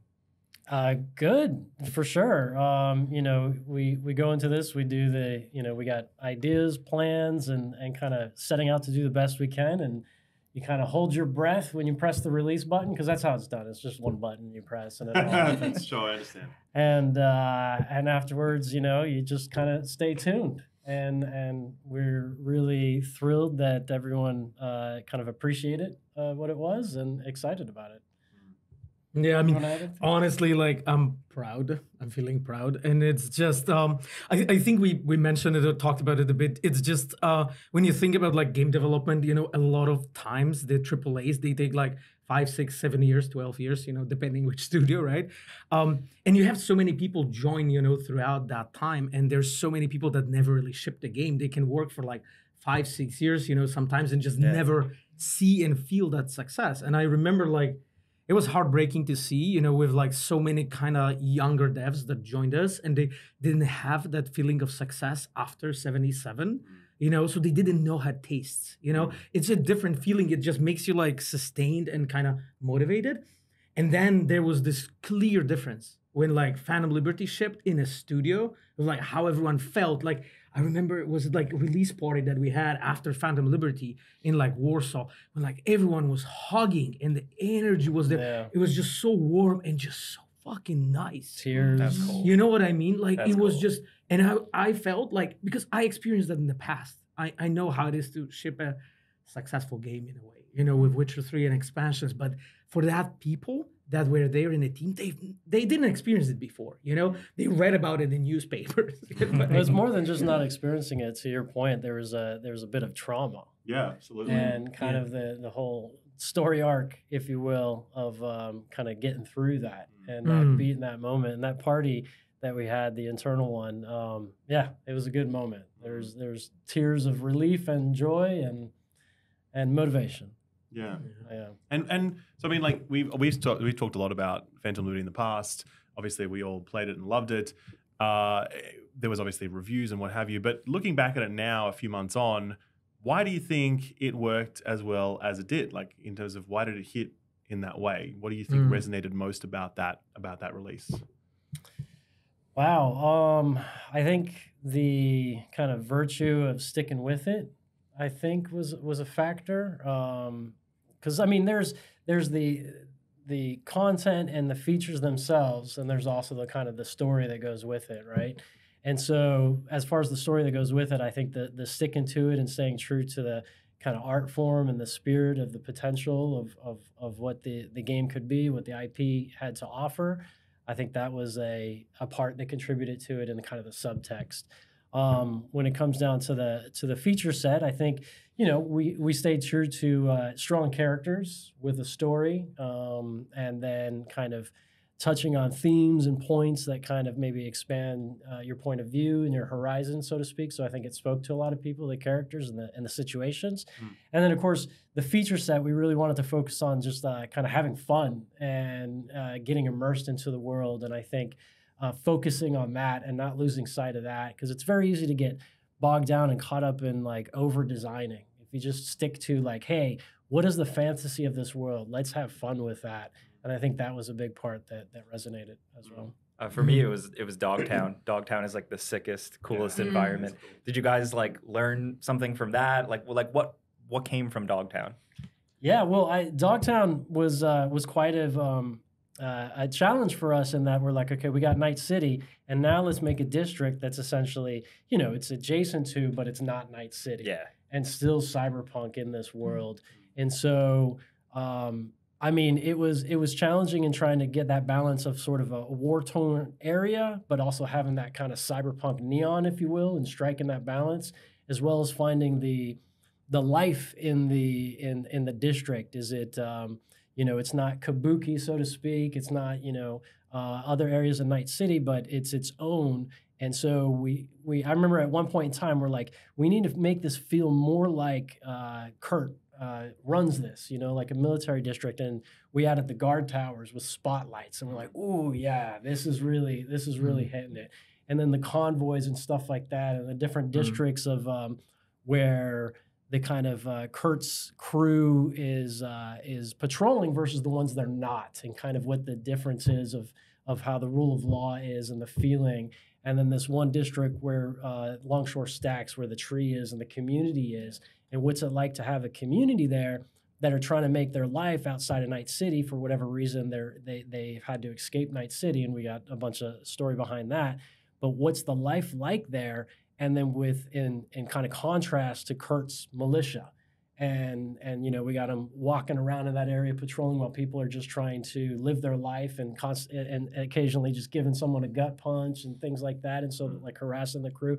So yeah i mean i kind of i kind of started to ramble a bit but it was an iterative process to find that balance Cool. to make it unique Mm. and Juarez, uh, you know, the border, El Paso to Juarez, Mexico, uh, East Coast, West, or not East Coast, East and West Berlin, the Wall, all of these things were like inspirations for how we approached it. Interesting. Yeah. Yeah, and uh, I will just drop one, one additional thought, like uh, in connecting even like two last questions that you guys asked. The um, what was interesting is that um, when you ship a game like 77, one thing that really sticks to you is like everyone that I talked to in the studio was more senior was like they were like creatively angry. And what I mean by that, everyone was like, when you're being told by so many people that you're shit with everything you do and with everything, like you want to show off. Yeah. You really You have, have, like, a this like- fire. you really are like, okay, I'm gonna fucking show them so much. Wow. and that was like, I remember talking to our environmental art, to our to our programmers. Everyone's like, fucking nailed this so much they won't believe what hit them. Right. And wow. it's this kind of a, like fire and energy in a way because like that that's how it feels, right? Because so many of us are like, you know, coming from old red, you know, old times, you know, we remember Witcher success and so on. And th- those people are all there, right? Like they they live through that. They know how it is to make a good game. There are factors why it happened, when it happened, but then when we were given an opportunity to make something better, to build something, as Gabe was talking about, you know, Dogtown and so on, and then there was it was just easier you know to build on that energy in a mm. way to just be like okay we, we stuck with that we want to stick with that ip we'll do something as remarkable as we only can do in any fucking aspect of that like any detail mm. like as minuscule and tiny it is everyone's gonna nail it and it was like you could feel that energy You you, know see that. There's a lot of anger depth. you know that of that that fire and, and that's why i called it like the It's the screen fire. anger. It's the fire. It's the fire. it's like it's not rage, it's fire, it's fire. Yeah, yeah, yeah, yeah. But totally Every- everyone was heavily motivated to do a great job. Yeah, it makes a lot of sense. It makes perfect sense. Well, I was gonna say like, because Gabe, when we spoke to you about Phantom Liberty, like you guys weren't there yet, and I didn't want to spoil it for you.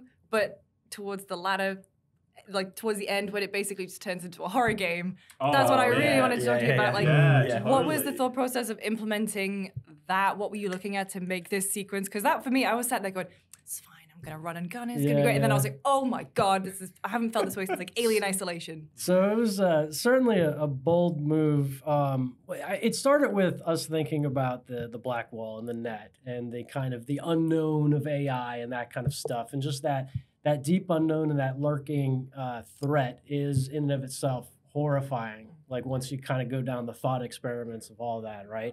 And I think that was the kind of seed point that started, you know, um, especially with the fact that it's an underground facility. At some point, it just kind of clicked. It's like, okay, let's let's do this not as some kind of like boss fight or whatever, or you know, typical like kind of run through RPG, but let's really try to evoke the feeling of the black wall in not only us telling you and showing you, but you experiencing the horror of that, right? Um, and so I think I think a lot of that was the motivation behind us going that way. And then we had individual like quest designers, developers on the team that had some experience with with horror game uh, uh, kind of tip tricks, if you will. And um, at a certain point, I was like, "All right, let's do it. Let's just go for it." And certainly, there was a number of people on the team who was like, "Oh, what are we doing?" Uh, but there was enough that was like, "Okay, let's do this. Let's do this." Because I personally always love when in a kind of deep immersive uh, RPG when there's a, a surprise, Mm. when there's the unexpected, right? That's just Mm. part of it feeling like an actual real world, right? That immersive element, and but it's also it makes you kind of just be like, wow, they went over and above, right? They didn't do what was expected. And Mhm. so these these are all factors. One thing so one thing also that we learned like i think during working on phantom liberty was the fact that on, on like a craft level it's really useful for the theme for the for the team to have a genre and a theme defined of your story. Now it may sound a bit basic but believe me most times you know you don't really do it early you because you don't know a lot of things is shifting we have started doing that in Phantom Liberty quite a lot, and you feel it. You know, there is a Bond-esque sequence, and Oh, we yeah. said it to ourselves very early. You know, the name of the quest. You know, my name, I believe, is the name of the quest. Is the song from Bond movie. Like Yeah. it, it, it. There's so many creative decisions that we took to basically drive that genre or a theme very clearly. Yeah, and that's, that's funny. I because that's something I noticed only in my second playthrough Uh-huh. of Cyberpunk. You know, because I obviously played it at launch, and I was like, yeah, da da da da. But when I went back, I'm like, hang on a second. These quest arcs that I'm going through each have a distinct genre. There's like one Mad Max style Mhm. thing. There's one film noir style thing. There's Mhm. one sort of like cyber hacking Matrix Matrix kind of thing. And that didn't jump out at me at first, Mm. but it definitely jumped out immediately in Phantom Liberty because it was sort of almost telegraphing those things more clearly. So um, It Plus- was just a growth of the team. plus you know, that to- the to song learn. at the end of Phantom Liberty. God, that is a great song, by the way. That is just Yeah. I fucking, I listen to that all the time to this day. It's just fantastic. A lot of James Bond energy. Yeah, so yeah, Yeah, Podsiadło, like the author of that song, together with uh, Adamczyk and Przybyłowicz, our composers, like this dude is one of the biggest Polish stars. Yeah, like, I heard this that. guy literally s- sells like stadiums of like eighty thousand people in an hour. That's crazy. Like Yeah. he's one of the biggest stars, and the fact that his friend, he's our friend, basically, we're able to cooperate closely, and he's a big nerd, to be honest. Like, Oh, he helps. loves our games. That he loves. Witcher. He loved. He he even played Gwent. You know that guy is really into like things that we've been doing. Nice. So it was in a way maybe easier to just like, convince him to cooperate on that. So that was definitely an awesome endeavor to build it together. And we had our ask about the theme, the Bond thing, and he, he nailed it. Yeah, Alan, saying. dude, Yeah. absolutely crushed it. Like it's yeah, it's fantastic. I um I was curious because my guess. So I guess wanted to ask about what's next for the you know Cyberpunk One, right? Because you ship Phantom Liberty, and there's minor tweaks here and there. You, there's still some small patches rolling through, right? If I'm not mistaken. Yeah, Yep. we, we have recently shipped 212 Okay, uh, cool. patch, like, but it was mostly addressing the feedback from the players. Some of the some of the stability because like all of those things you discover, also like all of the new things that keep coming out. You know, like just making sure that our game works well with whatever new tech is there, and just Sure. that nothing new is is is starting to you know um cause issues there. Conflict, Yeah, Sure. whatever, Was yeah. 212 the one with the subway system? No, no, no. That, was was, 2.1. Okay, right. 212 is just a small. Okay, cool. So my question then is: Are there any other mm, sort of smaller content updates coming to the game, or is that fully wrapped now and you're only working on bug fixes and maintenance? There, there, there might be some small things in the future. I think I, I mentioned in an interview recently that like um, it, it really comes down to the the focus is working on the sequel for Cyberpunk, um, and as opportunities present themselves, if there's like a little something, kind of a low hanging fruit, if you will, and someone on the team is passionate about it, like I'm open to it. We're open to it. Um, and I, I that that's a factor. The stuff uh, Pavel was talking about with technology, um, for sure. And then um, in addition to that, I mean, who's to say over the next couple of years? But nothing, nothing big, but maybe a little thing here and there. I did see the other day that um, there was a dev team photo that someone found as an Easter egg. And Yeah, I was mean, like, we "Oh, added this ages ago. Yeah. No, like Yeah. people, people didn't find so many things. Like they couple days ago, uh, found only well, a couple days ago, some time ago, they found only you know one of the things that we've hit in U uh, in UI that if you hover over the version of the game, it slowly changes to two. 0.0077 2077 Uh, if you do that Yeah. there's Little many things. there's many tiny things like that that people didn't find it so we were just waiting we were just waiting And so, you and, know? and how many other little tiny things are still hiding in the game that you think There's a haven't couple. been found? There's a couple more that I Seventy-seven. know. Nice. There's a couple more. It's also like a bit hard sometimes to track it because, of course, you know the natural place where you look for it is like I don't know Reddit forums, you Oh, know, yeah. Yeah. some social media thing. Like if someone finds it in their house and they're like happy but never share it, then you mm. know you don't know as a dev that it was found. So Yeah. it's just it's a bit difficult to tell, but there's a couple things. So you don't have anything like Arkham City being in Arkham Asylum. Nothing that big. Did you, did you hear about that? No. Yeah, like a whole nother No, so. What? there was this whole thing where I think it's in Arkham Asylum. There is, uh, if you do a very, very specific thing, Yeah. blow up a specific wall, behind it were the uh, the plans for Arkham City. It's like a massive Yeah. hint. the Hey. massive. Oh yeah, yes, yeah. I think And I've like, seen but that people in didn't find it for like a year. Yeah. Okay. fair Mhm. enough. Yeah. So nothing Um, like that.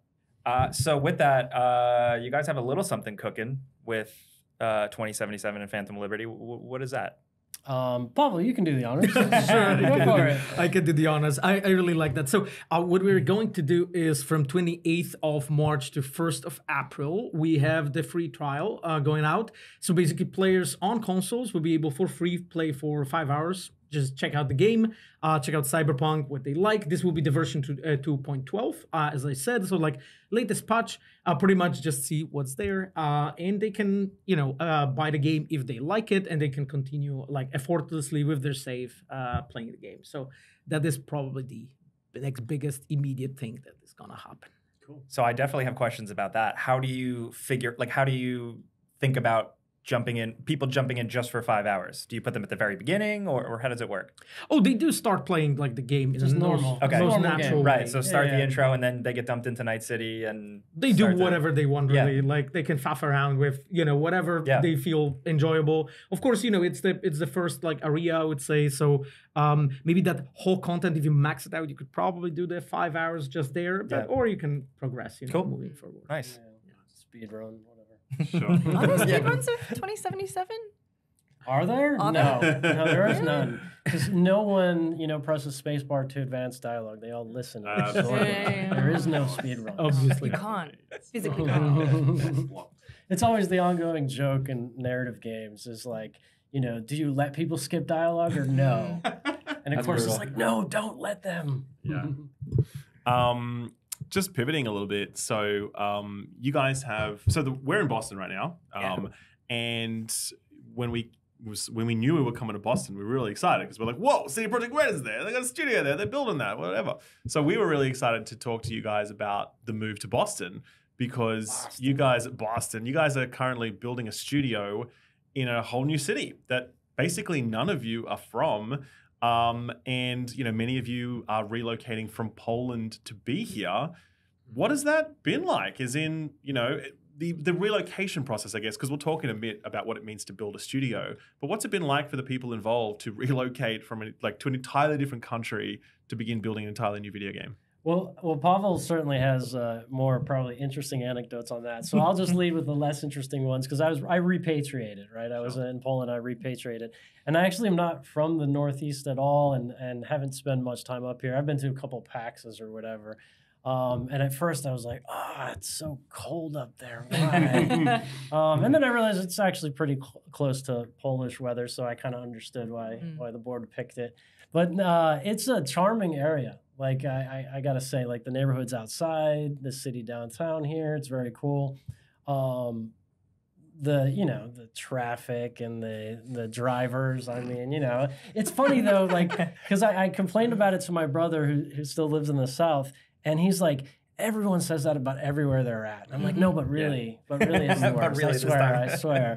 Um, but no, I mean, uh, as far as uh, repatriating here into the Northeast, I, I found it quite uh, charming area, so I like it. But there's a lot of nuances. Even when I first went to Poland, there was nuances I saw in Europe. You know, for example, if I wanted a soda, I couldn't get a big cup. I could only get little cups, right? That's a And good. that's a no, no, good thing. hang on, yeah, yeah, yeah. I was like, It depends us- on how you look at it, right? But it's funny because there's so many little things, Yeah. you know, because it's all like Western culture, yes, but there's so many little things. And with that, I'll turn it over to Poland. uh, to Poland. to Yeah. Poland. to Yeah. I yield Yeah. the floor. I yield the floor to Poland. Poland. So Pavel from Poland, Polish yeah, Yeah. born. So what, have, what have you experienced since you? Ugh, i mean i wouldn't know Let's go.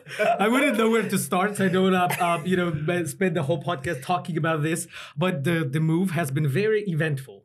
I think like everything that could go wrong went wrong, aside of plane crashing. That's very. It sounds That is so very dire. That's extremely dire. He still has a smile on his face. yeah, yeah. Still I has a mean, smile to on be his honest, I didn't expect anything else. Uh, so it was it was fine, and, and you know everyone was trying to help, I guess, the most they could. But oh, um, I mean, you know, my one plane was late, so then I spent up spent night uh, night like staying in um you know New York airport. Then the no. airline claimed that I'm not on the on their plane, you know, so they Sure. didn't want to give me the ticket. I had to call Poland. That was middle of the night to get my reservation number. They provided me that. Then I got a ticket without luggage.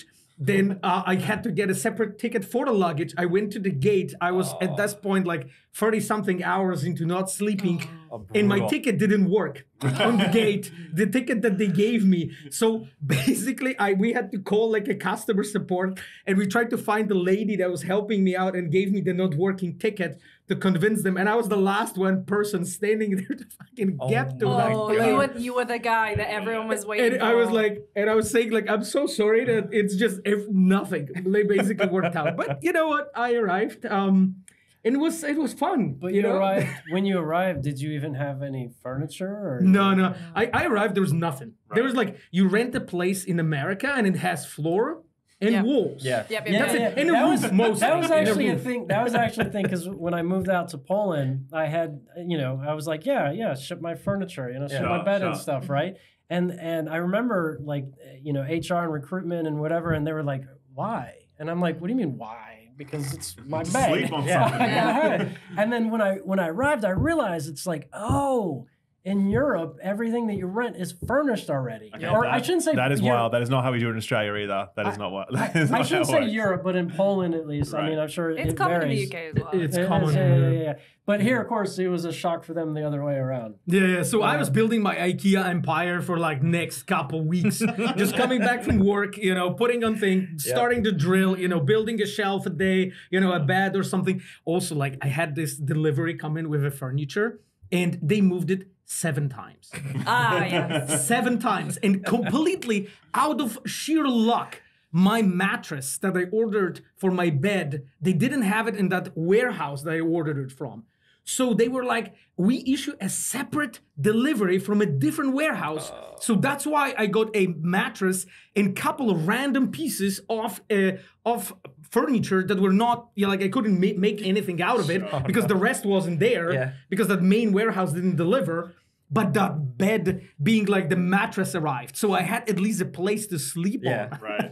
so it was not a floor it was a mattress. So you know this uh bostonian luxurious life welcomed me but it was fine. You know it, I, I honestly had fun uh, with all that move. Then banking system in america very very fun very Let fun me, no, no, we can talk for a long time about Wait, that. what's wrong? What are we? What's? The fact Yeah, that as an it's- immigrant you don't have credit, regardless of if you have credit back home. Oh, but you're banking- supposed to have that. Banks don't want to give you an account. Like I only got mine because my friend recommended me, and she was like, "She's good for it." She, I swear. They're Yeah. inherently suspicious if you have no credit. Like it's, Oh, it's but something. banking system is stuck in 50s here. Not in 80s, not in 70s, not in 60s. It's in 50s.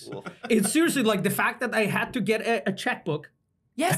yeah. I was to- like, they Yeah. asked me, hey, you have an account. Do you need a checkbook? And I'm like, Huh? What for? I would use a checkbook. And then the, the, the next purchase I did, they asked me for a check. To buy your coffee, of course. the fact the fact is that you have to get Venmo just to send money to someone because you can't just do a bank transfer is insane to me. it's it's ridiculously Yeah. complex and it's just the fact that you know you have okay. apps now that read checks so that people could work work around the fact that sometimes you get paid by a check so you don't have to go to a bank to get the money now you have an app to scan the check Yeah. is so wild to me you know the fact that people require the fax to be sent you know still Sure. and some businesses do still do that. I mean, I did the first purchase in America with my bank account. First day, I paid for the trash.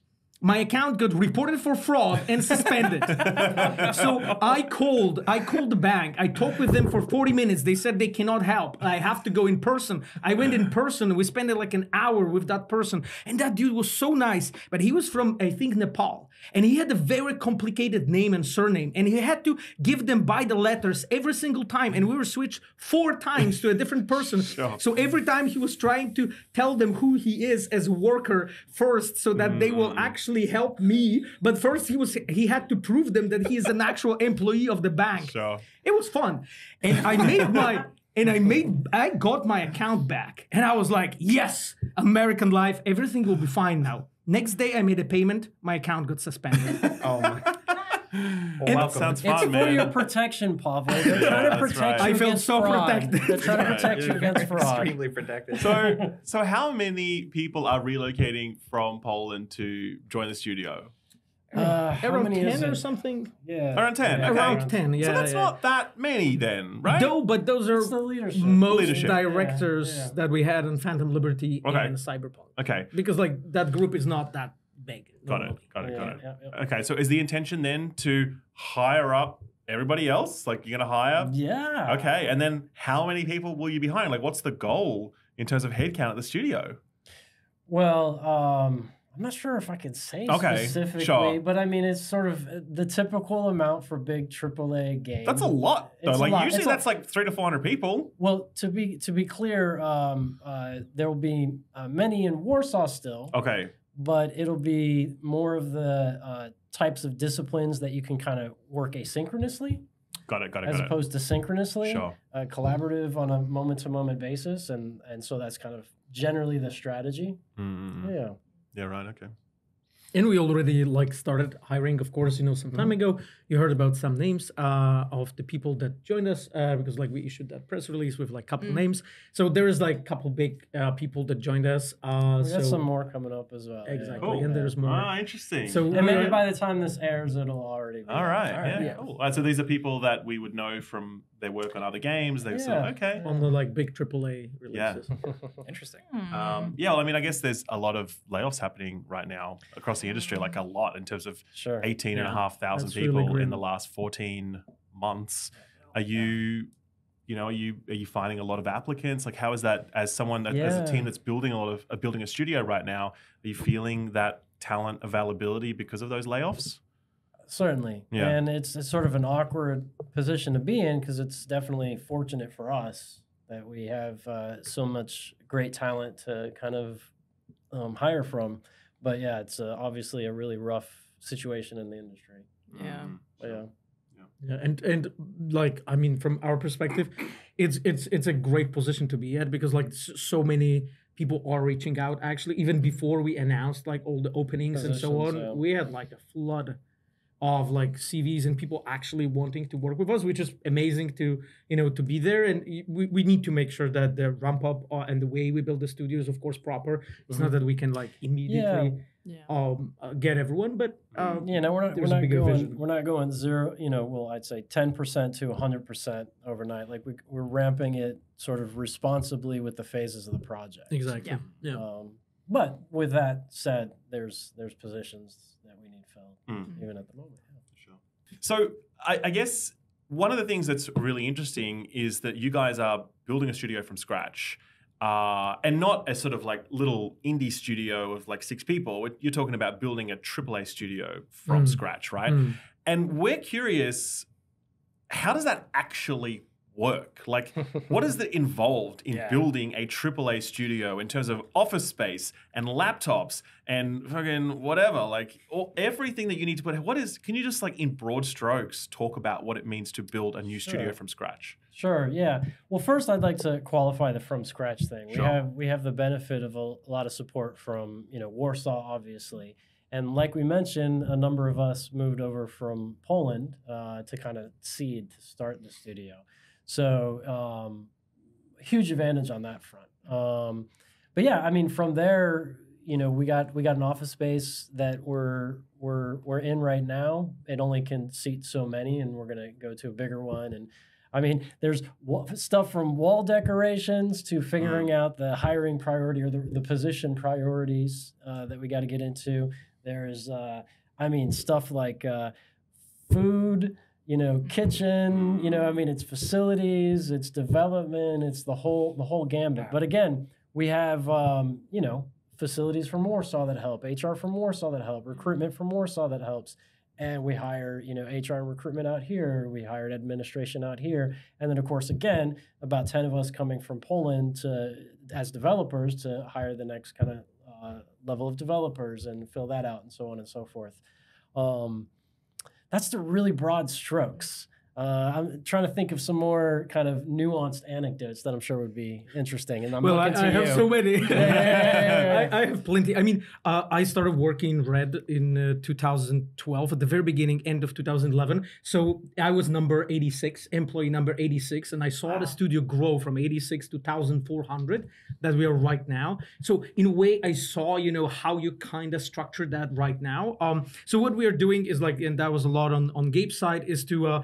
be sure that first we have that um, grand like structure of directors, let's say, in leadership. That was like the most important focus point for us for like last couple of months, I would say, and that's slowly to be almost done there and then you know of course you know we are working leads and all the uh, senior and expert talent uh, that we want to have so that's the way you structure it so like you start from fundamentals i would say when it comes to the the team then there is of course you know everything as, as gabe said about the the office uh, you know polish people coming over and complaining on the coffee you know in america It's very fair. It's a very fair complaint. Coffee here sucks. This is fucking shit.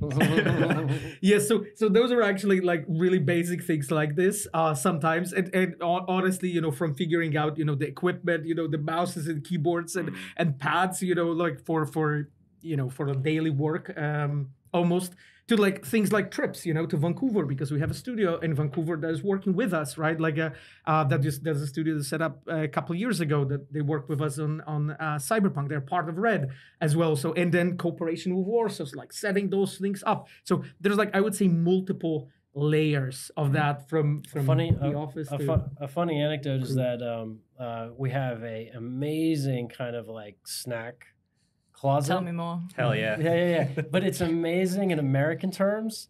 And and Oh. Polish are like, Oh. this is so unhealthy. Where's Yeah. the healthy food? Where- where's my fruit? Can we have some apples? And I'm like, here's a Rice Krispie treat. Welcome to a game dev studio. Here's the Mountain Dew, and uh, exactly, exactly. It was funny. so the plan is for everyone to be in studio, it kind of, or is uh, remote an opportunity? An Well, opportunity well, or- I mean, uh, right now, um, everyone in the Boston office is in in office um, at least three days a week. Um, uh, I personally, I'm old school. I love being in the office, uh, so I'm, I go five days a week most of the time. How about you, Pavel?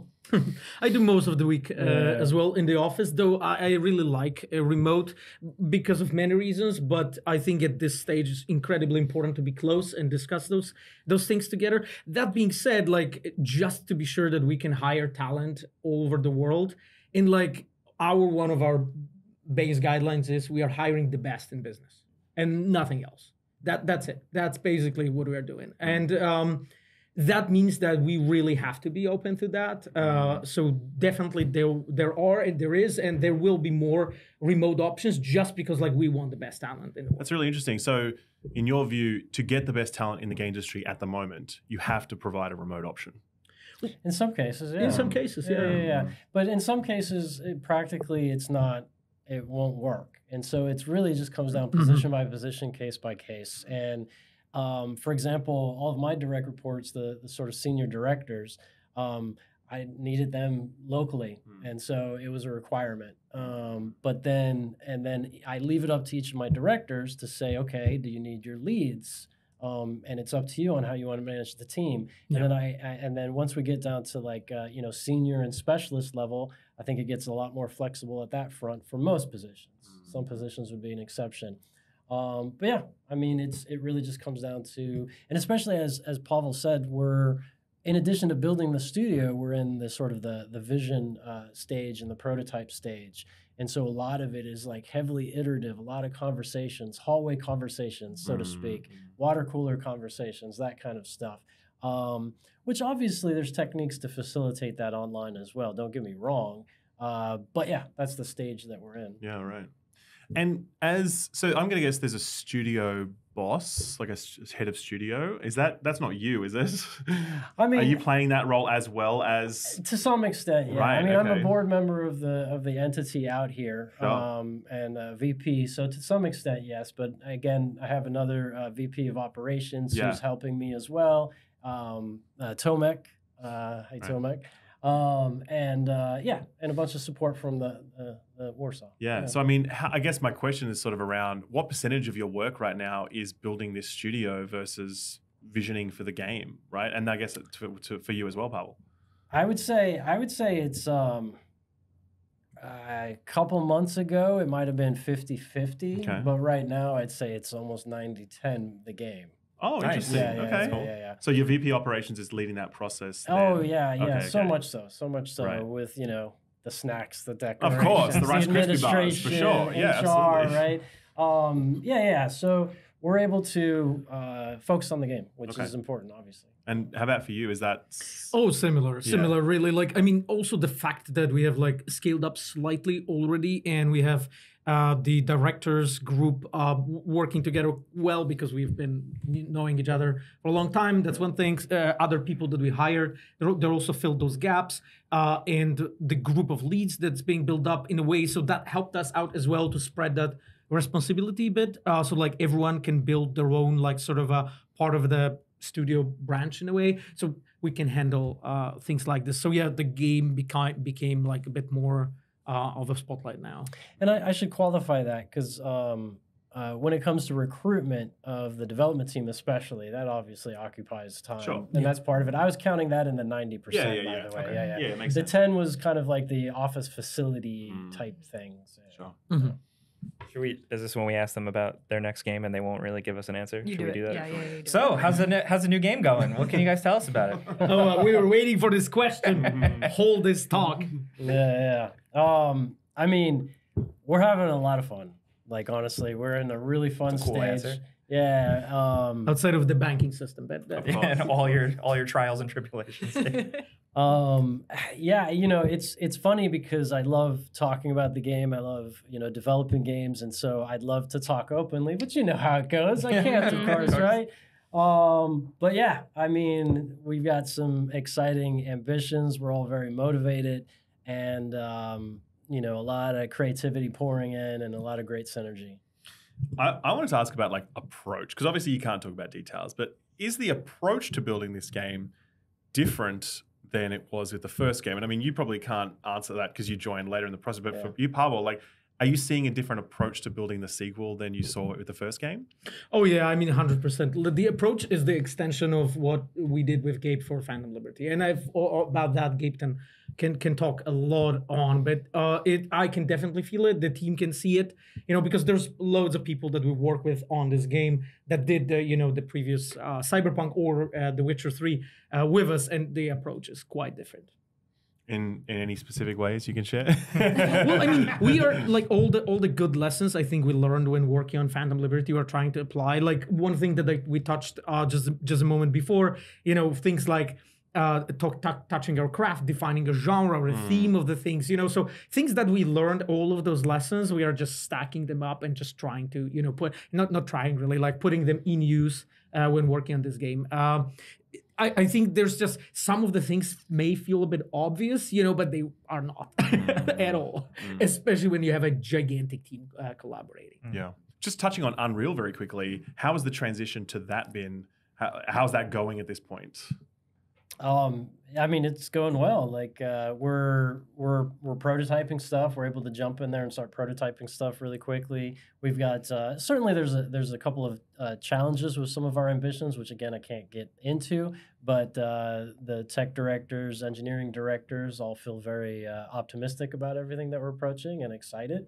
And so, yeah, I mean, overall, good. Cool. Um, right, yeah. Okay.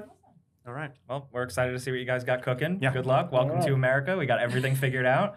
That's the American motto, right? Yeah, yeah. Well, we'll see you guys soon. Thank, you. Thank you. you so much, and it's been a pleasure, uh, guys, to be here with you. Honestly, I watch you on stuff. so Thank you. Well, thank you. It's fun. Thank you. All right. See you. Bye bye. All right, uh, fantastic interview. Thank you very much uh, to the uh, to Gabe and to Pavel for hosting us. Well, I guess we hosted them, technically speaking, in the office, but they were very generous to like spend the time with us. So really do appreciate that a lot. Um, we're gonna go into the final block of the show now, talking about what we're playing. Before then, we thought we'd do one or two more user questions because there were quite a few from the Twitter feed. I think we had mm, over a hundred, and so we want to make sure that we actually get to a few more of them Yeah. so that people don't feel shortchanged. How about this one? Uh, NakeyJakey, I heard you co-hosting this week. Do you have any tips on how to properly adult when you're still a big kid at heart, at heart asking for a friend? Mm, I mean, I think I, I was kind of saying it before too in a different context, but like I think just accepting and realizing that no one really knows what the fuck they're doing, like that you are not any more adult than someone else, even if it like seems like they are. That it's like also just write things down. I feel like that's what I have to use the calendar app on your like, phone like so you don't forget. make lists of shit. Yeah, make lists, make Right. to-do lists, use the Mhm. calendar app, put in people's birthdays so you don't forget. That's a big one. Just set it to repeat every year. Yep. Yeah. Yeah. That's Okay. Yeah. That Make makes a list. Like crossing off a list is you know, do it on your phone. You can add emojis next to things you don't want to do. Makes it funnier. I don't know. Yeah. Make yeah, it make for a sure. game out of it. I think just make a game out of anything. I think that's the advice. Gamify. Gamify stuff. Gamify. Gamify life. the dishes. Fuck it. Okay. I mean, Wow, hey, nice. I have um recurring chore reminders. And Really? like, oh yeah, so like every day I have a different chore, so nothing like bunches up at the weekend. So you know, one Mhm. day I'll be change my sheets That's or something, smart. and it's like just knock it off, I'm ready to go. It's good. Yeah. That's my one tip. No, that's great. The uh, I mean, Also drink a people lot probably- of water. Yes. Oh, yeah, Oh 100%. yeah. Also, That's str- one thing I move will around. S- Like, dude, if uh, I'm not even being funny, the last like five years, I've noticed that because I'm just you know sat like a shrimp the whole time, I'm getting aches and pains. Yeah, Oof. same. I it's the, all the basic stuff. Make sure you're eating. Make sure you're drinking. Wait, And, you how know, are you getting whole- aches and pains? You sit on an exercise ball. yeah, man. I mean, that my posture is not great. Hang on, actually, on the exercise ball, what, what what what is the story? What is the what is the deep lore of the exercise ball? Tell us where it came from. Oh, and, Well, the- um, And someone also asked, has us- it always been the same Has exercise it always been the same ball? no, Well, I that's know what I was about one. to say. This is this is this is number two. It was Mm-hmm. one up until the Bethesda video because it popped when I was using it outside. But this one is also from my sister who gave me the first one, and the first one was from when she had her first kid, and I was living with her, and I was starting to do green screen stuff, and I couldn't fit on frame because I'm really tall, I'm like six four, and so I was You're like, 6'4"? "Oh, I need Yeah, I was like, I need Damn, to sit man, that's something. crazy. I would not have guessed that. Okay, right, yeah. all right, sweet, yeah, cool, cool, Um, all right. so I I was like, oh, I should sit on something, and I was living with her, and the ball I think was like in the hallway outside my room. So I saw it and I sat on it, and then once I was looking at the footage, I was like, oh, that's kind of funny. And Mm. so Yeah. it was basically once I like realized I could keyframe me like whipping around and changing the size, I was like, oh, that's. I showed my brother, and we were both like, oh, that's pretty funny. Um, and then yeah, this one was when she had her second kid, and I just stole this one too, and it also happened to be gray, and it's bigger and stir. You could tell by the thumbnail that on the uh the Returning to Red Dead 2 video, I'm hitting the same pose, but the ball looks way bigger than the other thumbnails. It's because this ball is bigger, and the angle. I'm like, it's I, look at uh, it. You'll see, it's huge compared to the other ones. It's. I loved massive. your sister's cameos in the uh, Starfield video. Yes. the loading she's- screen. Oh my God. She- she- I just Fast gave her travel, some loading lines. Is screens. there a loading Some- screen? some of the funniest dude she'll appreciate that some of the funniest stuff she did like i i had the lines written out because originally i was gonna do something and her baby had been watching a bunch of miss rachel which is like who mm-hmm. she's supposed to be. And then after a while i was like why the fuck am i doing it? Like you should do it. You do the voice way better. And then i just had her ad lib stuff of like Sure. obviously like leather jacket and the stuff i told her to say but a lot of it of like loading screen. Oh yeah like peekaboo loading screen. That was all her. Like, that's like does she play? Does she play games? Uh, yeah. I mean, she like does. we played like a bunch of Kirby and Mario Kart and shit growing Nice. up. Like she's she's not she's not actively playing a bunch of stuff, but Mm. she'll play like Minecraft with us and stuff. So Yeah, right, right, right. yeah. What about um? Actually, probably one last one. Would you, what do you reckon about like? You reckon someone could start on YouTube today? Do you reckon someone can make a start on YouTube today, make a go of it? And if so, what advice would you give that person? Uh, natural growth, at least on YouTube, is really fucking hard. I mean, Yeah. this was before shorts. I know some people have luck with shorts because sometimes the algorithm will recommend me a short that has like two comments and two likes, and I'm like, I don't Yeah. know why it's showing me this, but like, it's kind of good because it shows that they are pushing stuff that isn't. Um, all of that just to say that like my the root of my audience definitely came from Reddit and went from like Mm. basically Yeah. nothing to like four thousand people in a matter of days. So that's like I think that's the harsh reality of YouTube is that you kind of have to get it externally, but like as far as trying to do it as like a job, I think as long as you're just actually making stuff that you care about and that you want Mm. to be making and enjoying the process, like yeah, at the end of the day, you want views, you want to get paid, all that stuff. Like I'm not saying it's not important, but I think you have to actually just like and care about what you're doing, and people can definitely pick up on that. But Yeah. also like using the tools of TikTok, Instagram Reels, YouTube Shorts. Like there are ways to get growth. It seems like specifically TikTok, but YouTube itself is pretty damn stingy until you get to a Mhm. certain point. I think Mm. would be the the harsh reality. Um, but I I- I think it's possible. I think it's just yeah, you just have to like make stuff that also you feel like you want to watch and that isn't just a Totally. copy of someone else because it's the same thing of like not making a cyberpunk video because it's like what the fuck am I going to say that hasn't already been said? I think I think a lot of people buy the equipment whether there's a streamer, YouTuber, they buy all the stuff, they set it up and they're just like I'm going to do it and they never actually thought about like why would anyone want to watch this? Mm. You know? I think that simple question is like if you don't want to watch it, why the fuck would Yeah. anyone else want to? Yeah. I mean, I've always said on YouTube, I think this like simple way to look at it is either say something new or find a new way to say it. If you can do one of those two things, bars, you're that's good. you're gonna find an audience. You know what I mean? Mhm. Um, and it's but it's hard to do those things. Like it really is. It's very hard, and it takes you time as well to find your voice. You know, like don't imagine you're gonna come Oh, out there and immediately Yeah, my know who you are. yeah, like I look back at my old videos, I'm like, fuck, man, I gotta delete these. I know? used to cringe at it, but now it's like I don't Yeah, know. I kind of like it. It's kind of wholesome. It's the same with the music that it's like, oh, I could take it down this, but I'm like, no, I, it's like it's your it's all part of it. It's Yeah. all your it's all part That's of it. I just Yeah, I don't. yeah. I mean, I've I've GameSpot, so it's like it's a different thing where it's not really mine, but I don't even go back and there's just so Look many your old stuff. No, I just I just don't. Sometimes I it kind of. Crops up and like, oh, I remember this video you made? I was like, no, Yeah, Yeah, yeah, no, I really don't make no, that. I- Remember that video? Who is this woman? Yeah, which yeah. which hair color was, and haircut was this? I don't. You're like, I I'm a don't her. computer boy now. Who the fuck is this? there have been some hair colors, haven't there, Lucy? Hey, hey, now, yeah. oh, Uh, man. um, someone on our team, John Luke, found a bunch of behind the scenes E E3 2015 footage. Okay. Yep. And I don't know her. I don't. I did not recognize myself. It's so weird. Just thinking back. That was coming out in 2015. Is That was like- that was the E3 PlayStation Showcase of Dreams. That was Shenmue Oh, yeah. 3, um, Last Guardian, and Final Fantasy VII Remake. I will never Oh. forget that. And I think Kingdom Hearts 3 might have been there. You're not gonna forget that for a different reason. I was in the audience for that one. Roxas, Zenmu, Zen, Z- Xehanort. Xehanort. Oh God. Riku, They- Kairi. They're my friends. um but no, I just I just look at that uh, old footage. I'm like, oh, I don't I don't want to know what shit I was saying back then. You know, I hear Yeah, you. I was I hear probably you. stuff you'd get canceled for. Yeah. But I would have I would have sounded more British when I was saying it, not this You mess of an sound pretty. British still today, by I'll, the way, I'm gonna sound really British when I come back from the I'm UK. sure you will. I'm sure you will. Um, but boys, what So- you been what you been playing? What you been doing? What you been doing? Elden Wing. Elden Ring. You've been playing. You've been ha- so how many hours Elden Ring on your? Did you play on Steam or PlayStation or what? Play on so Steam. first first like one and a half like the main character that i did like everything on like 100 plus hours ps5 um Okay.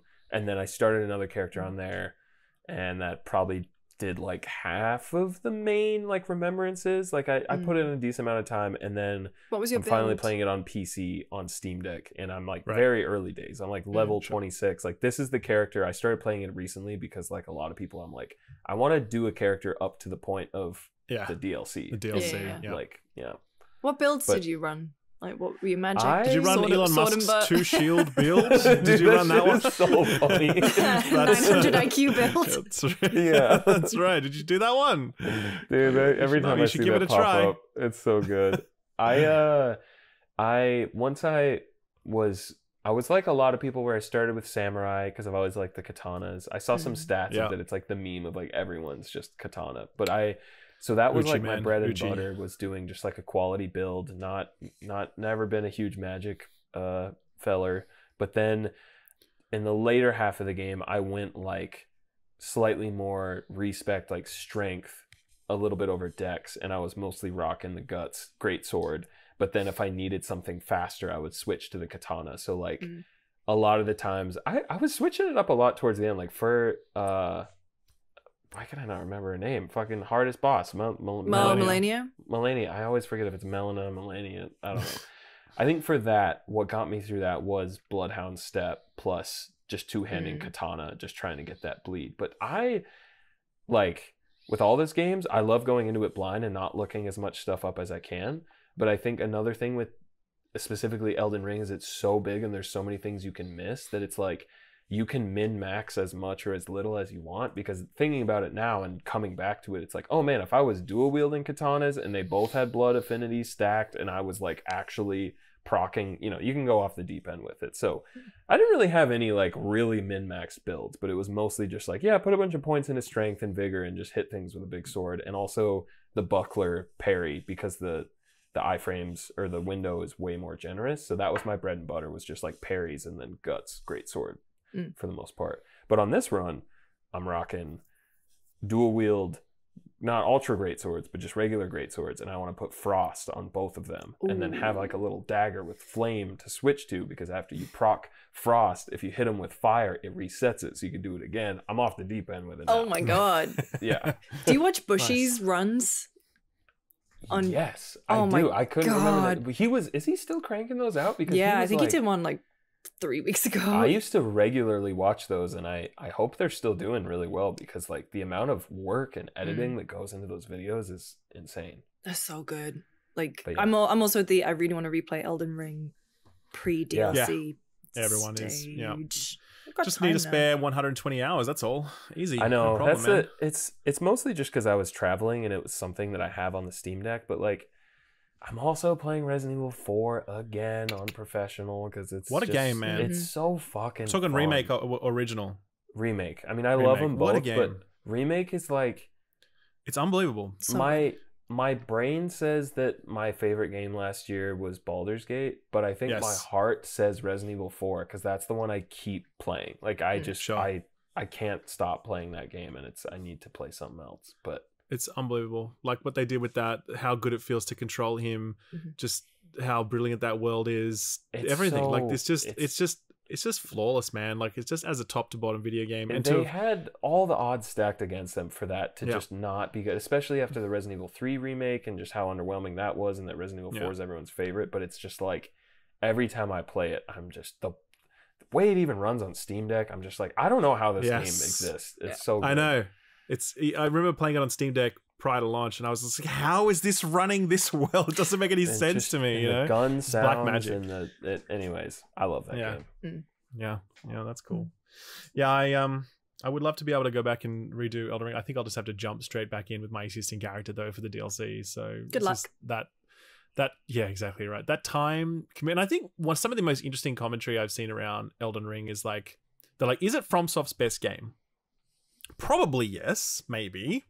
Okay, I know I'm pissing off Bloodborne people, but like, Yeah, I buckled a little out. bit Just when let you me, said that. Let me finish. Let me finish. Let me i'm finish, somewhere right? in between I'm, Yeah, yeah, that's it, right? yeah. Because then you could say, so you could say Elden Ring, because nothing comes close to it in terms of scope, Mhm, scale, mhm. just like the number of things in this video game that are all possible and that all work, and the, how epic your journey is. It's so massive, it's unbelievable. It's impossible to hold it all in your head at once, right?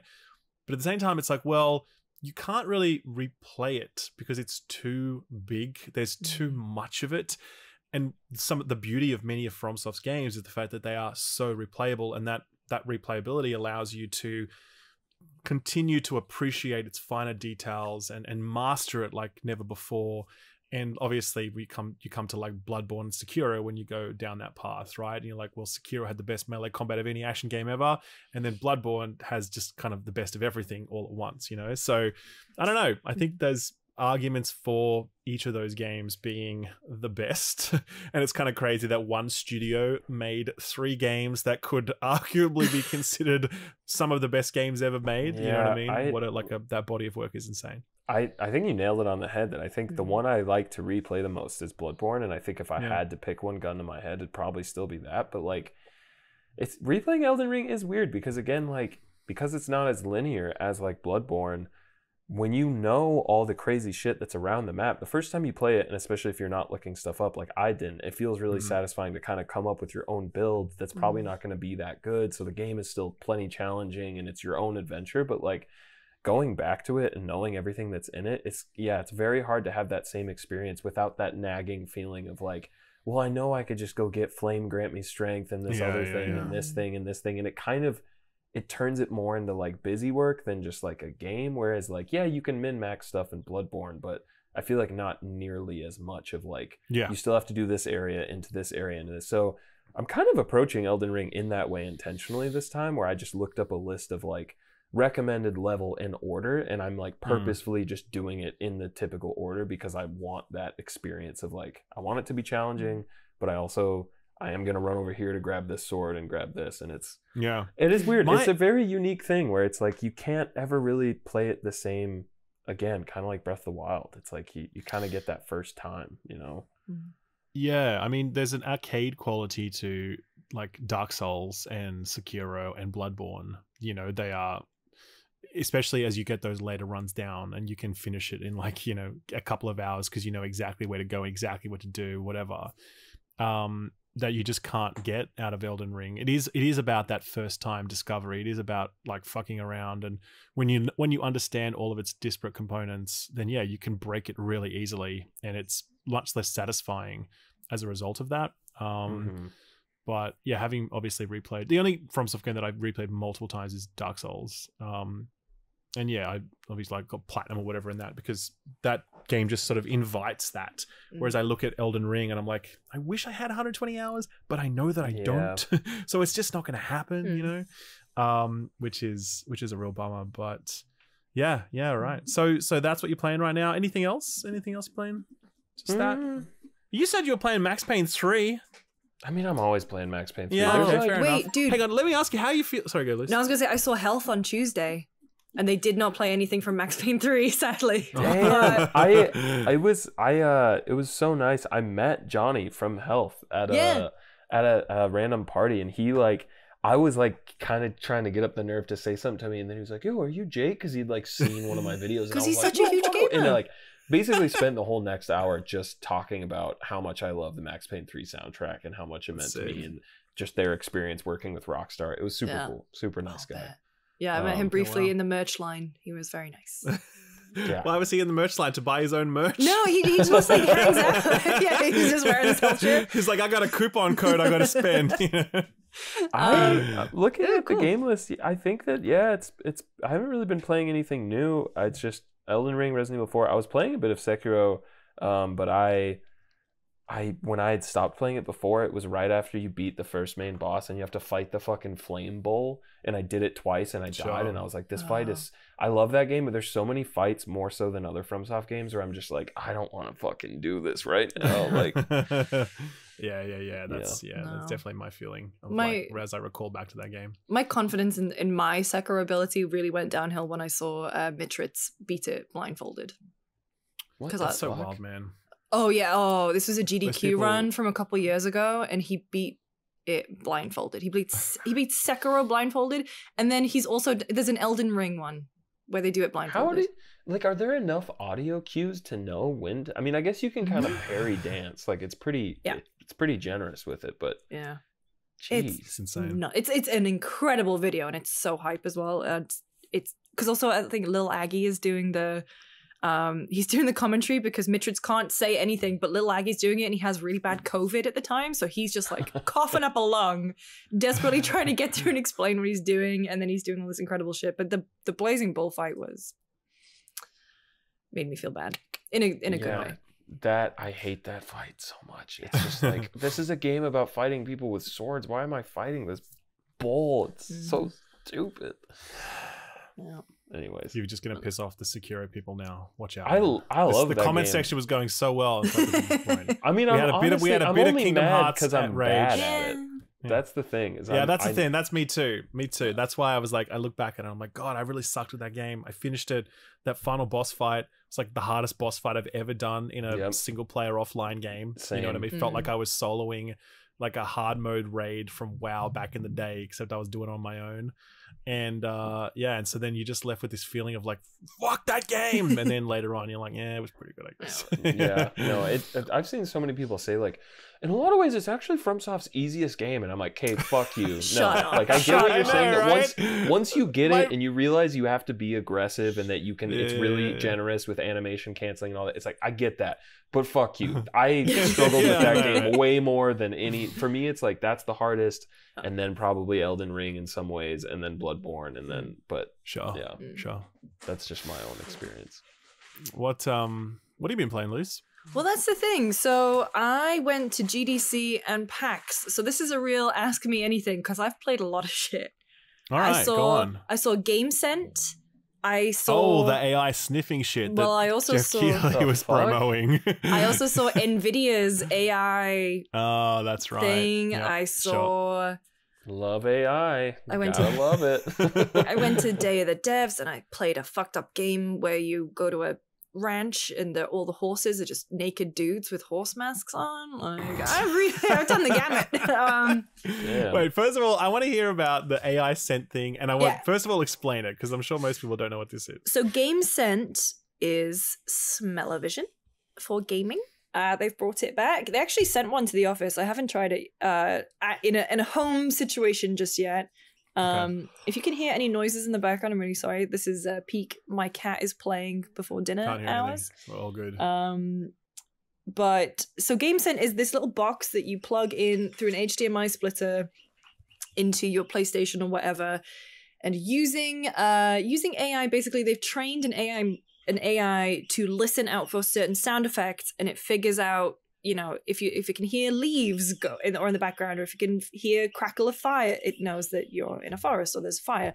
And it's like this little barrel where there are six different scents, and it just releases it up in the air. It just farts in your room. It, it farts a little, farts a little air cloud Yeah. in.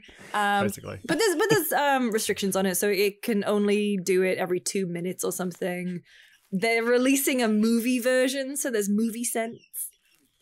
There's an what I want it I called want to? I want to spell scent? what spice smells like. game scent. So what if you like get teabagged in Halo? Like what is it? well, so that's the thing. So like they don't have Depends sense for everything, and that's I I even said it to them. Like I think you guys kind of messed up by not launching with a Twitch integration and gross out smells because that Yeah, is 'cause such an that's gonna get- easy. yeah. Twitch would just constantly spam farts though. Yeah. There's nothing else they would Wait. do than hit the fart button over and over again. You'd have Twitch streamers gagging. But I've done- I- the thing stream, is that I've be done that. Because South Park did a um, the that, nauseous yeah. rift thing, so that one. I Oh mean, maybe God. they thought, oh yeah, I've been there, done that with the with the fart smells. But honestly, like, it's gimmicky as hell. It was fun. They're doing more sense, and that you could. But the thing is, is like you can swap them out, or you can have two and daisy chain them. oh, Shit. Yeah, really so- hotbox your Yeah. room. Really? Yeah. Hotbox. Um, you that- will have like Twitch streamers with a blanket over them, over their microphone and keyboards, like Don't look at huffing me. it, you know?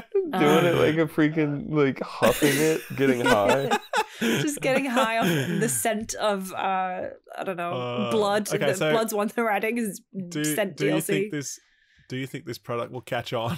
will this be a success? I think it's gonna catch on fire. Yeah. I mean, That's the thing. They were like, oh, because it went viral, um, it, it did. I don't know. They kind of said like it surpassed their expectations and stuff. Am I gonna get one and have it in my apartment? No, but No, um, definitely not. Some people will. Maybe they'll have movie scent. And like, if I don't know, if they had a Dune one where they had a smell of Sure. spice. What is it? What does this uh, still suit smell like?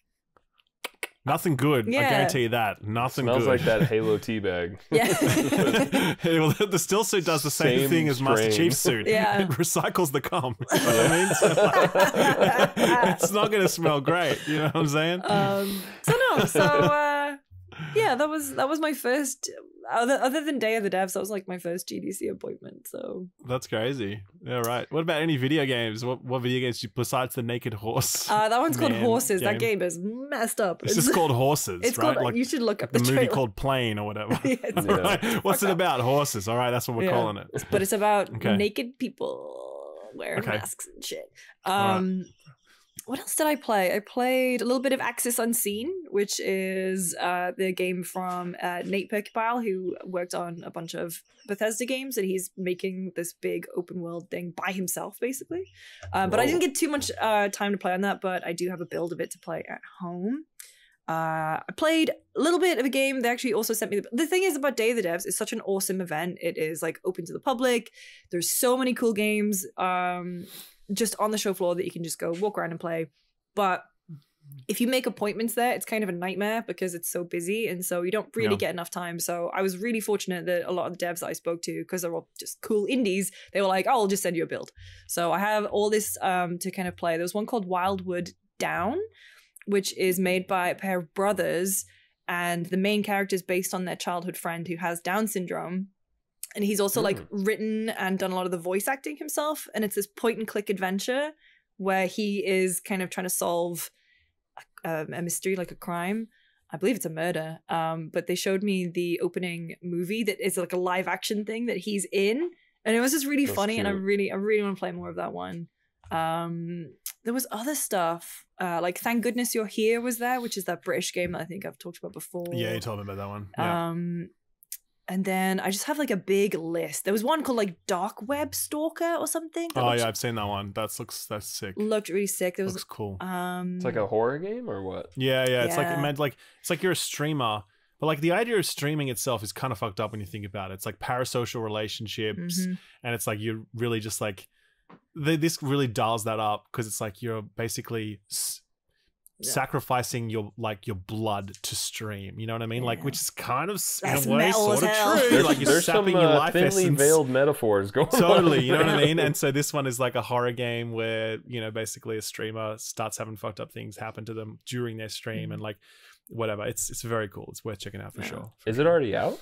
no no, no I think it's there's a the demo out, or Yeah. it was at, Yeah, at yeah. Next Fest. Um, there was uh, Death of a Wish was there. That game just came out. Kind of um, Soulsy esque combat, but like a really messed up, like scribbly art style that I really liked. oh i think i saw that one Yeah. yeah, so this Sounds is all, this is all just Day of the Devs. Um, and then in terms of actual proper appointments at GDC and PAX, didn't really have any. I saw Dune Awakening behind closed doors. oh tell me did you actually see gameplay Yes, but okay does it look like conan exiles or not I haven't played Conan Exile, so I can't tell you. have you seen some gameplay no. Okay right does it look Um, like third person people walking around in big sand dunes that's a dumb question of course it is Yeah, what are you, a what are you talking about? that? What do you think this is? so therefore, it looks like it looks like Is Conan there Exiles. Okay. sand?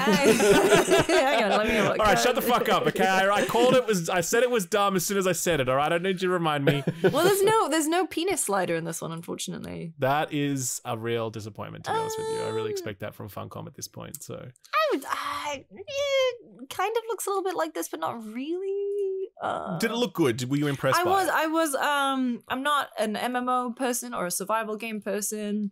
I was really into what I saw, but uh, it was because it was at the very beginning. Like you get quizzed by Reverend Mother, and like they Cool. just nailed that tone and everything immediately. And it doesn't seem like the opening, at least, is too overwhelming. I was like, they were kind of going through the loop of getting materials and then crafting, you know, a basic basic weaponry and then you get a still Sure. suit and then you get a like a better one and then you're getting to a stage where you're building huge outposts or like your own base and then you're working with friends and then you're in an ornithopter and you're doing that cool dive thing. Hell yeah, Can't ride a sandworm at launch though, unfortunately. that comes later, does it? Interesting. Well, apparently they're working on it. So to be fair, I don't see how you could ever ride a sandworm in a game Mhm. in a way that that actually works in Mhm. an MMO. I mean, I just can't see that. Yeah. This is I, that would that would not make sense. But- But, good luck to them if they can do it. If it's just going to be some lame fast travel thing, I'm like, don't bother, please. Yeah. That's going to Yeah. be too annoying to see. But it looked, I mean, it Um, looked cool. I was, I was into it, but like, obviously, it's hands off, so I can't really get the, the full impression. Like, I don't know how shooting feels, and because they're typically, you know, Whatever. melee, Yeah. melee guys. But um, everything I saw, I was, I was making it? into. Funcom. Funcom. For the people who made Conan Exiles, so Mhm. yeah, they, they have Mm. they have experience in desert-based survival games. this is kind of their niche. No one would be better equipped to do this than them, Mhm. so it makes a lot of sense. Well, uh, and then the only other Um, big thing that I saw really was the um, I saw Convai AI, and I saw Nvidia's Oh yeah, thing. I also saw talking you. to I, s- NPCs thing. I saw Ubisoft's one. Yeah. Is it good? Is it shit? What's what's up? Not as impressive as Nvidia's. Yeah. Um, okay. So the, the Nvidia one was actually good. It was impressive. Okay. It's not the thing. So to give a little context of what it was that it, we saw and played, it was um characters were basically given like a little background. They had uh, various things on it, so like they couldn't.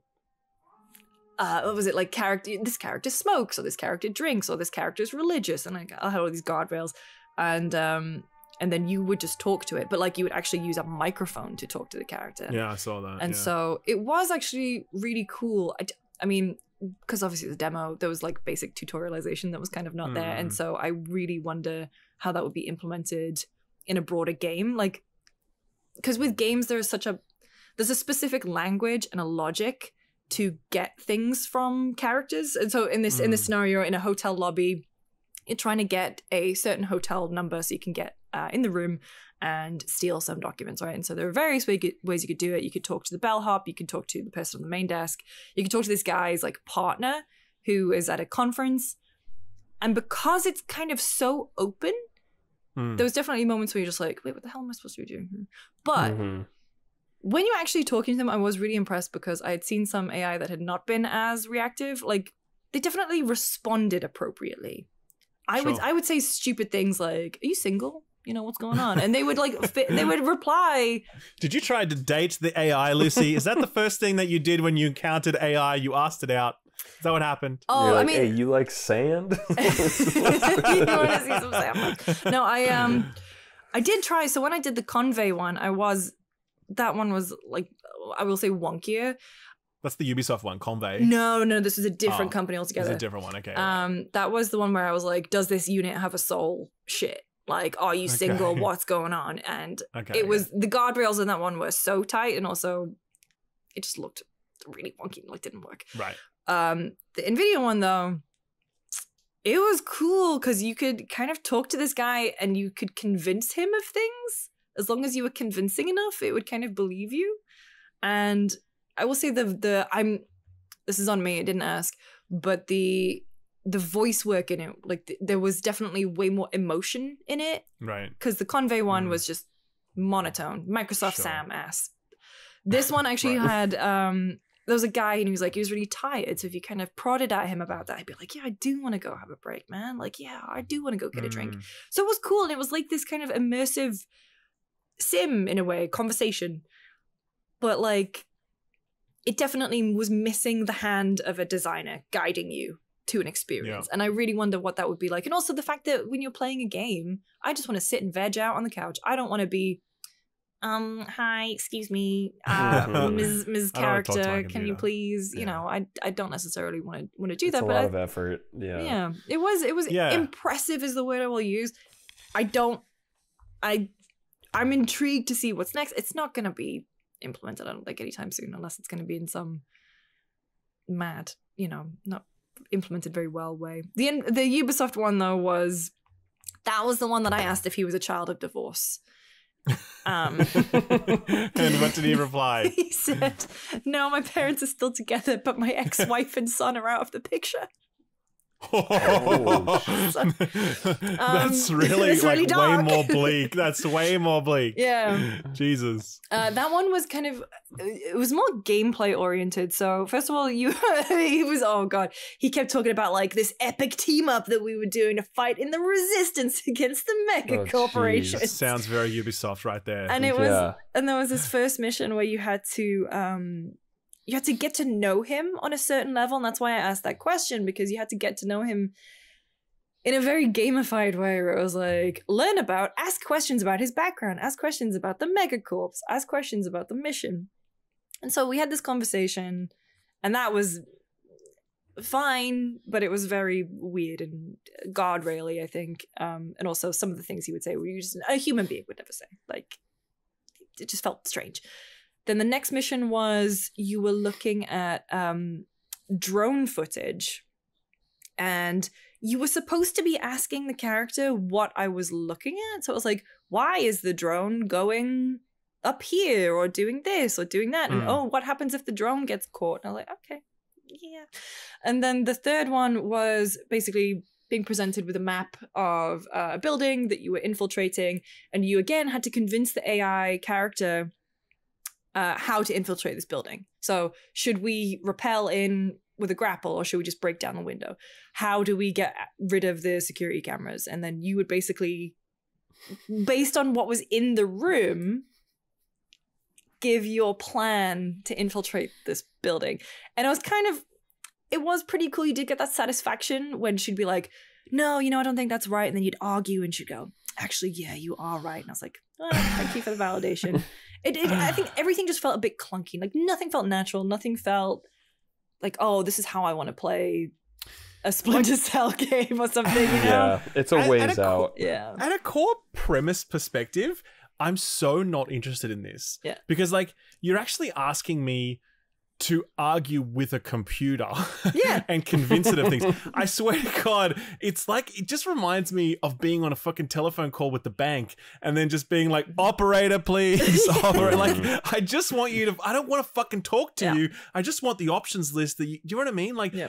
I just that does not interest me, the idea of oh, I get to talk to the computer and it has a fake made up personality conjured out of nothing and Mm.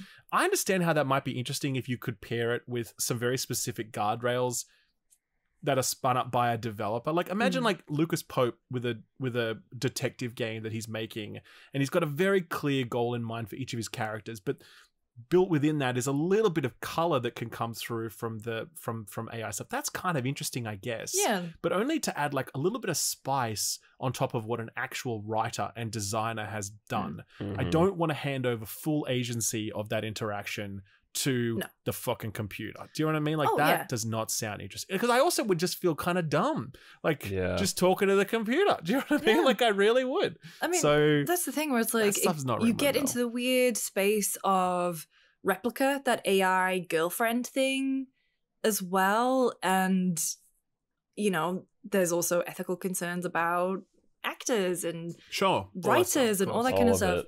the thing that i think is cool and actually jk I was watching your um uh your npcs video where it's like when you get to the end of a conversation tree with an npc right and it's just like oh see you later oh see you later. I'm working on this. See you later. Like, if maybe instead of having a writer dedicated to writing box and numerous kind of lines like that, Yeah. like utilizing the AI uh, to kind of generate something, that But, like, could be it- cool. I- but, but- also just like, who cares though? Like a- again, at the, at the end of the bu- the end of the line of dialogue, I'm like, oh well, they've sent me See ya. away. Okay, that's fine. We've done our thing. In Like, some ways, it's kind of nice because you know, like, okay, that's done. that's the end of that Mhm. one, and, I- and Yeah. I think that it's like you were saying that games have certain logic or expectations that you just learn after playing so many. Because like my mom or dad who never play video games, when they see something, or like my nephew, it's like the questions they ask I find so interesting because they they don't have that logic ingrained in them. So like. Yeah.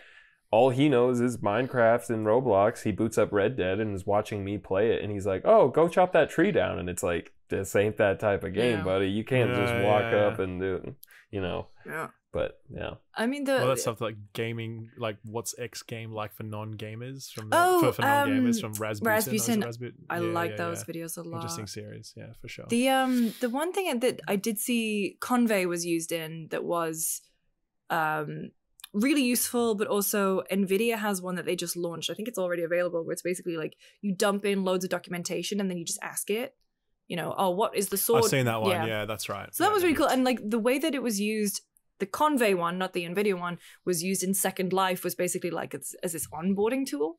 And so you kind of get there, you talk to a character and you go, Hey, how do I do this? Or where do I go from here? And I guess that's Hmm. and also, you know, they're not voiced characters, it's just pulling from all the files that it has on what the game is. No. But in terms of the actual game game characters, yeah, it's not gonna be you're not getting an Astarion from any of those. You You're are not, not. you know. Yeah, you are not. I mean, yeah, like I'm maybe not letting 20 any AI bite me in the middle of the night. That's for damn sure. And I mean, like, I'm not naive enough to think that 20 years from now, we might not, you might not have an Astarion, Mm. right? Like, because I mean, this technology is advancing so quickly. Did you guys see the Marques Brownlee video where he's like, you know, Will Smith eating spaghetti like one year ago versus now? Did you Oh guys see no, that I haven't one? seen that yet. Yeah. yet. Oh yeah, yeah, because like the like the Sora is it Sora like the video technology? Yeah. Um, Sora. where it's like uh, a, Every was, time I'm that was say it. surprisingly good. That yeah, was that was surprisingly good. good. But like that, how fast AI technology is mm-hmm. advancing? Who knows what it's going to be Yeah. like in five years, ten years, twenty years, whatever? Like maybe we get to that point, but uh, it's just even then, I still think there's a thing that happens when you know that a human did a thing Yeah. that you're interfacing with versus a computer. You know, it's like yeah. you're, you're interfacing with someone's content uh, intent like the Mm. middleman is the piece of software sure but the other side of that software is a human who had a goal in mind that they're leading you towards in Mm. whatever it is and i don't want to give that up and Yeah. again i can see a place for ai peppering sprinkling seasoning like whatever sure but the minute we hand over wholesale to that thing i think that's Yeah. that's too far for me personally I think that's I don't know. you know Who knows how that goes in like 10 years or whatever. Judgment Right, Day will have been been and gone by then. Judgment Day, that's right. Uh, Ralph, what you been Um, playing? So I've been playing Dragon's Dogma. Ooh, I only Oh, played a true. li- I Yeah, only played keep a little bit. forgetting about this game. and Yeah, it's- yeah. I, I, s- I was very interested. Yeah, Yeah. Have you played it yet, Luce? I played a couple hours, but Okay. I um, I I just got back from PAX and I was very tired, and I just was Sure. not in the place for a very systems driven game at that point. Well, it actually isn't quite system driven. It's quite Well, a fascinating game. Well, that's it. As in, as in, like it just it was throwing tutorials at me, and I was just like, I don't, I don't want to read. at the beginning, yes. I don't yes, wanna it read. is, for sure, for sure. so No, I watched, I is watched true. Shogun instead and read subtitles. I'm watching Shogun. Oh, it's so fucking good. That's good. I Um, gotta watch Shogun. I think, uh, yeah. Also, you haven't played either, Jack. I'd be really interested to hear your thoughts on it, like after you know Elden Ring and whatever else, because there's a lot of parallels between these two games. I'm only 20 hours in, but I've taken my time, and I've Mhm. only just hit like the second town, major capital town, I should say, capital city. Um, really fascinating game to to talk about, and I am still too early to be able to come to like any Mhm. conclusions or whatever. But I really got the sense as I listened to all the discourse that like this game is all about friction and it doesn't give a fuck about you and it's like so hard to play and everything is difficult and like the save feature will purposefully screw you over and Mhm. everything's su- and I'm like okay cool I was ready for that and I'm like that's not what this experience is 20 hours in I found it quite pleasant to play actually and not that it's like full of handholds because it's not Mm. but neither but it's definitely not so brutal and so unforgiving and so unassisting that it feels like this wholly different experience. And I, i'm quite surprised at how the discourse that i've seen around it right? Because so that's one thing right? Mm. All of that. But at the same time i would also say it feels like so far a almost like a prototype or an alpha build for another game that eventually will come later. And it's so hard to explain that without having played it yourself, but it's so free form and loose in its overall composition that it really feels like it's waiting for something else to pop Mhm. in over the top of it Mm. to make it all hang together. Okay. Like for example, like going around town, you um you, you're able to go into all of these places that you're probably not meant to be in. Like, like I'm in one place right now called like the Forbidden Laboratory, and it's clear that it's like I'm not really meant to be there. There's lots of people in masks. They're all doing secret business. It's built up as this place where I'm like not meant to be. I'm not meant to be there, Mhm. but I can just walk around there. No one gives a fuck. And furthermore, anywhere you go, anywhere in the world, you can just steal shit out of people's shops and no one cares. You know what Ah. I mean? It's like you can literally steal the, the gold that's sitting behind them on their cash register and they don't register it, right? And so that's kind of what I mean when I say that this game, like, it feels as though the system that recognizes that you are stealing shit comes in later. You know what I mean? And then that makes the the the city life stuff come together, and that makes the stealth stuff come together. And you know, outside in the open world, really limited enemy variety. And I know that that doesn't Mm. change a whole Mm. lot later on, but again, it really feels like you've got a prototype group of enemies in place and then the rest of them come in later. Similarly, you've got this quest that you're going on, which is pretty okay. It's nothing incredible. Most of the quests are kind of just like fetch questy or go and kill a thing. It does feel as though there's another layer that might sit over the top of that as some really grand quest with more interesting milestones and boss encounters. Maybe those boss encounters come later. Right now, there's been none of them actually in 20 hours. So Wait, you haven't played a single boss fight in 20 hours? no, I haven't had done a single boss Mm. fight. No, there, there have been like bigger enemies on the map, Yeah. like because there's like a Cyclops and a Minotaur and a Mm. Griffin or whatever, and they're big enemies and they have big health bars, whatever. But I wouldn't call them bosses per se because none of them are involved in the story, right? They're Right. just random creatures wandering around that I can kill, and there are multiple of them as well. There are multiple Cyclops and whatever. So, like having said all of that, I really love it. I Hmm. do. Like I'm 20 hours in, and I'm just like, yeah, let's just keep rolling with this. Uh, let's just keep going and exploring and finding random caves and figuring shit out and whatever. I like it, but I definitely don't love it. And I'm, and but but I think that if you took this game, all of its components, and then made a sequel to it, to just fix, not fix, fix is not the right word, but if you just like added to all of those components, you would have an incredible video game at that Mm. point because its sandbox is so unique and interesting and cool, but it does feel like a bit of an alpha. You know what I mean? Yeah. Mm. How does it the run? is- I know that the performance Yeah. has been a, a sticking point look, for a lot of people. I'm not the I'm not the right person to ask because I do play it on a 4090, right? So I'm Mhm. just throwing a lot of silicon at it. and it runs fine. Mm. You know, it's not great, but I but I do know for anyone with lower end PC, it runs like ass. Same with consoles. I'm not sure if that's been patched to be improved lately. Mm. For me, it's been fine, and I actually have no complaints. But that's with a stupidly overpowered GPU, and that's yeah, I mean, fair what, what what resolution, what frame rate, what are you rocking? I'm paying like 4K, and I'm like able to get you know 60 to 100 frames depending on what's Damn. going on. You know, so yeah, that's fine for me. But it does fluctuate. I do get some like some drops and whatever. That's yeah, uh, definitely not an issue for me, but obviously an issue for many other people. Mm. But um, Was I'm really running interesting- on the deck anytime soon. yeah, Yeah. yeah, yeah, no, no, no, no. Your deck will just like melt straight away. So yeah. So, if you say that there's a missing feeling of an yeah, a, an overarching story that's pulling you through, you haven't really had boss encounters that you're leading. Are you satisfied with exploration? Absolutely for Mhm. sure. But but even then it's a very basic form. I don't want to make it seem as though you're going to find incredible things that you never thought possible. Like the exploration is really just like oh hey here's another cave. Cool. Sick. All right oh there's the same enemies that i fought 30 times before. Let's kill them again.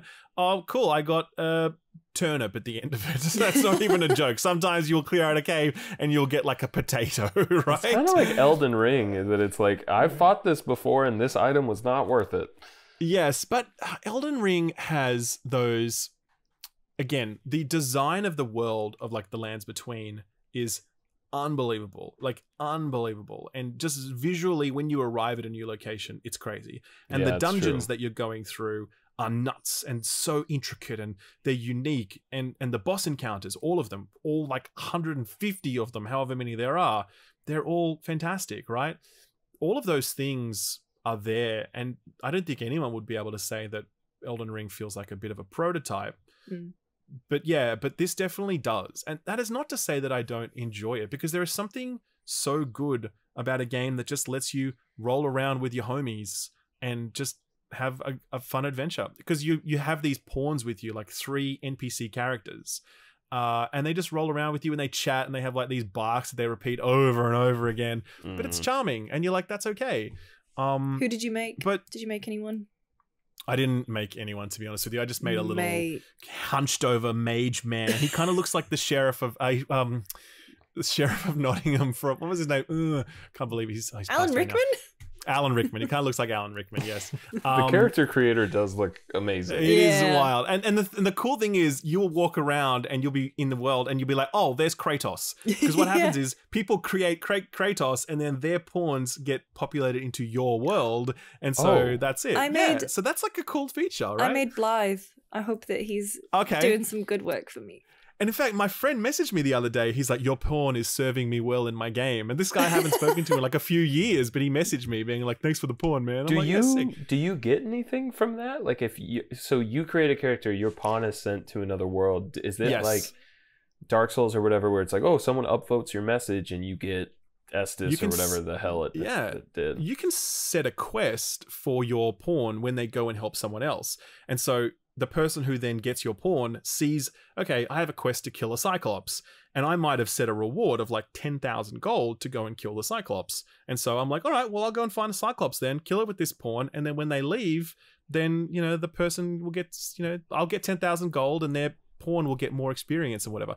Cool system, as I Mm. describe it, by the way. But Mhm. manifestly how it actually impacts you in gameplay is not as impressive because most of the time the rewards are not particularly compelling Mhm. and it's Mm. quite an unclear system. So this is what I'm talking about. Like there's all these cool things that exist that I like, but it's but it's like take this and make a sequel that just adds on top of all of it and it's going to be a 10 out of 10 game. Yeah. But right now, if I don't do scores, but I feel like if I was to score this, I feel like this is like a 7.5 or an 8 to me, you know? Mhm. things that I really enjoy about it that I really like. I'm definitely keen to play more, but I'm noticing it's un it's missing components a lot. Um, but that's not taking away from how cool it is just to play and, and roll through it. So I really recommend checking it out. Very unique, Mm. but specifically very different to I think the popular discourse around it. I don't think the discourse is accurate at all. I really don't. I think I think people have greatly exaggerated the degree to which this game gives you that that friction or or what have you that people have spoken about. Mm. So Mhm. Mm. so it's cool. It's it's really interesting. And No, other than that, I've I- been playing. I want to check Go it on, out. sorry. It seems Yeah. like there's enough interesting things to that sound like they're up my alley of things that I like that I'm like I feel like it's worth checking out. Yeah, definitely, and I, and because I, and I think it's also interesting because of, as I said, how much it's missing. But yeah, like there's a lot to be talked about in terms of those missing components, but they don't.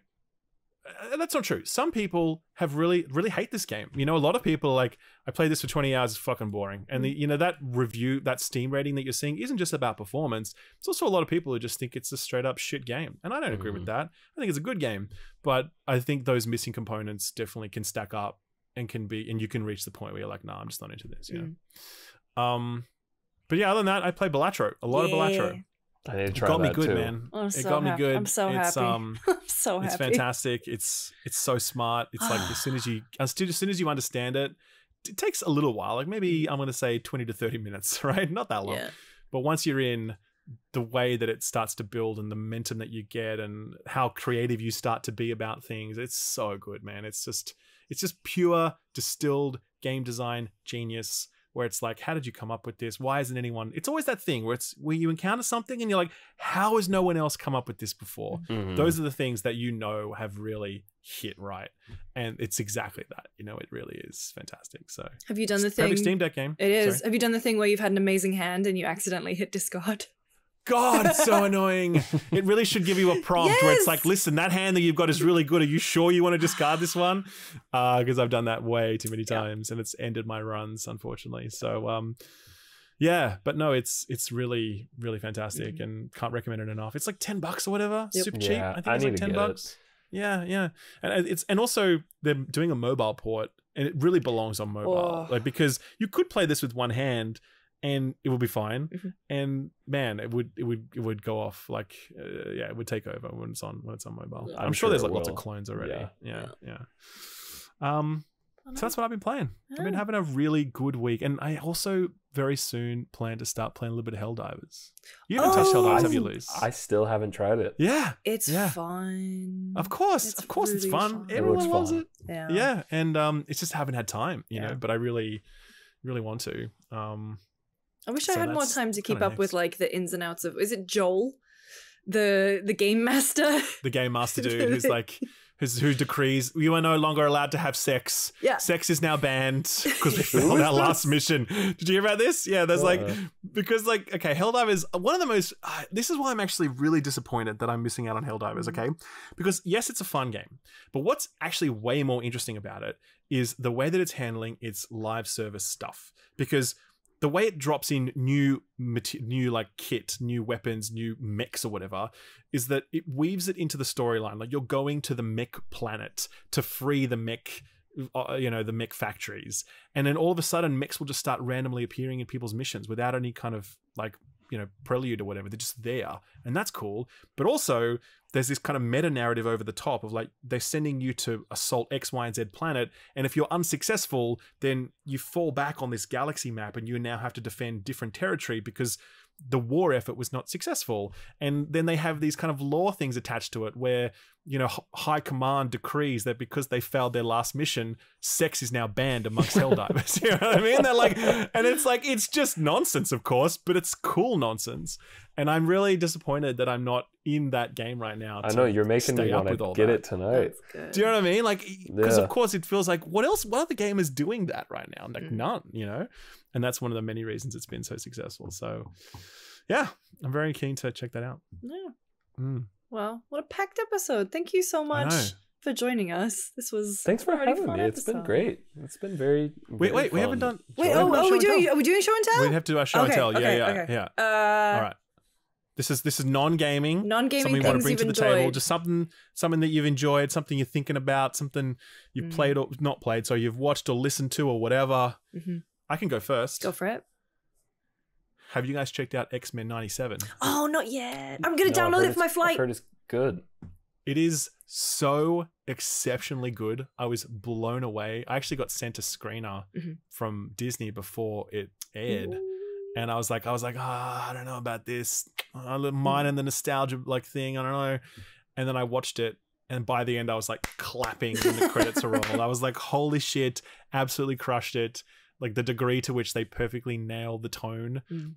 Is flawless, and also the fact that they made Cyclops cool. and it's the very first piece of media that I've ever seen that makes Cyclops cool, as opposed to just being this wet blanket who's like in the way of Wolverine. You know, Damn. um, it legitimately is just really well written and cool and just interesting stuff. Like I, I really recommend checking it out. It's not just a, obviously it's a silly kids cartoon, but it's Mm. so well done that I really think that you're going to be surprised by how well, by how much you enjoyed. I think, even if you haven't watched the original, go and watch the original. By the way, if you haven't. So, yeah, man, X Men '97 goes Ooh. hard. Hell yeah. That's me. All right. Uh, I went to see Health and also Okay. Daði Freyr. I've been I've been to two gigs in two weeks. That is unlike Wow. me. Imagine Um, going outside. Went outside. It was great. Whoa. Um, no, Daði Freyr was on Eurovision a couple years ago, and I've seen him before, and he's like Icelandic pop. It's just really fun. to- um, and then Health were great. Um, I saw Pixel Grip were opening for them. I missed the other two uh openers, but Pixel Grip were amazing. And then Health, they did, they did the Cyberpunk song, so everyone was everyone was thrilled. Nice. But I wish they had done Tears from Max Payne. Yeah. that would have been sick. But Just the whole ambient soundtrack. yeah, it, was, it was really great. It was a great Everyone show. Great show. Cool. Um, and other than that, I mean, Shogun is still the thing that I'm. I'm watching. Have you seen this week's Yeah. episode? No, I'm actually only up to episode one, but I watched it. and I'm like, this is fantastic. So I gotta watch this show. It's Yeah. pretty good. Show- Yeah, Shogun. Everyone's everyone's all Um, over. it. everyone's all over it. It's one of those ones where something happens in this episode. I'm obviously not going to spoil it, but I I had like a oh moment which I haven't had maybe since Game of Thrones. Yeah, yeah, yeah, Um, yeah. it's good. It's I'm. Cool. Damn. Yeah. What about you? I uh I watched of recent things I've watched, I watched Mr. and Mrs. Smith series. How The- the is new that? one? I feel mixed. I Mm. feel positive enough where I'm really happy I watched it and I would definitely recommend it if it, nothing else that it's really interesting to talk about. Mm. But I definitely have feelings about it. It's kind of hard to talk about without spoiling, but I definitely it's gorgeous. Like there's moments that like surprised me of, you know, like you said that you're like, "Oh, but in the way of that like it made me laugh really hard where Mm. I didn't expect it." It had a lot of moments like that. Um visually, it's gorgeous. All the clothes, beautiful. Mhm. Um, It sounds like it sounds like suits.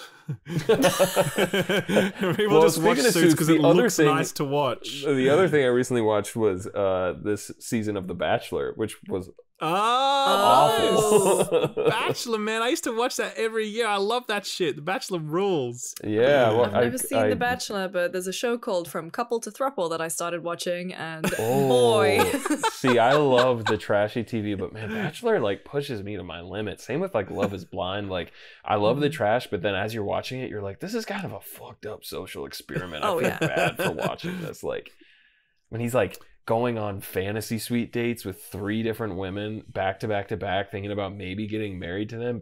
Basically, like he's having sex with all of them, and then he's like, "Okay, I'm gonna marry these two. Okay, I'm gonna marry this one," and it's like, it's insane. If you Shit, think about man. it too much, it's definitely Yeah. it's dystopian, but yeah. I love it. Yeah. I Yeah, love I love trash TV. Me I too. really I really do. I just need to turn my brain off sometimes and just I've also been rewatching Gossip Girl. XO XO. the OG, not the fucking reboot, Oh whatever the hell they're doing, but it's just of like comfort trash in the background. Gossip Girl has been has been playing. TikTok Spotted TikTok thinks that I really change. want to rewatch Gilmore Girls, Mm. and I'm like, sure. first of all, it's not autumn, so I can't. That is an autumn show. Okay. But also, I was looking, and it's just like they don't make TV like that anymore, where it's 24 episodes in a season. in a That's season, how it's so Gossip wild, Girl like- is. It's like, what the fuck is? And they're all forty minutes long. It's Yeah. like, what the I hell? yeah. It's Um, insane how they used to do it, right? It's crazy. Now Crank we're like eight out. episodes, and we're like, oh, that's good. That's a long season. Yeah. That, that's the British Yeah. model, man. like our seasons so short. Sure. Like Yeah. Doctor Who is like three episodes a season or whatever. Lovely. Um, yep. All right, now actually, is this the end of the show, or does anyone have anything It is. else to bring up? Speak now, forever Got hold your peace. I think that's it. Thank, Yeah. Well, thank you again so much for joining us, and uh, thank you all at home if you have been watching or listening.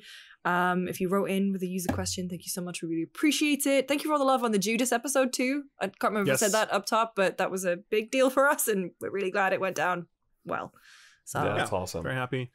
And thanks for yeah, the questions were really great. We hope we answered enough, uh, Jakey. Thank you so much for being here, man. It was really awesome chatting with you. yeah. Thank you And, for having me. uh, You guys are great. Dude, I d- definitely going to be like staying on top of all your exploits, Mhm. all the shit you got cooking, and um, hopefully we'll have you back sometime in the future. Do it. I'll, Yeah. I'll I'll be here Awesome. right Awesome. here. Fantastic.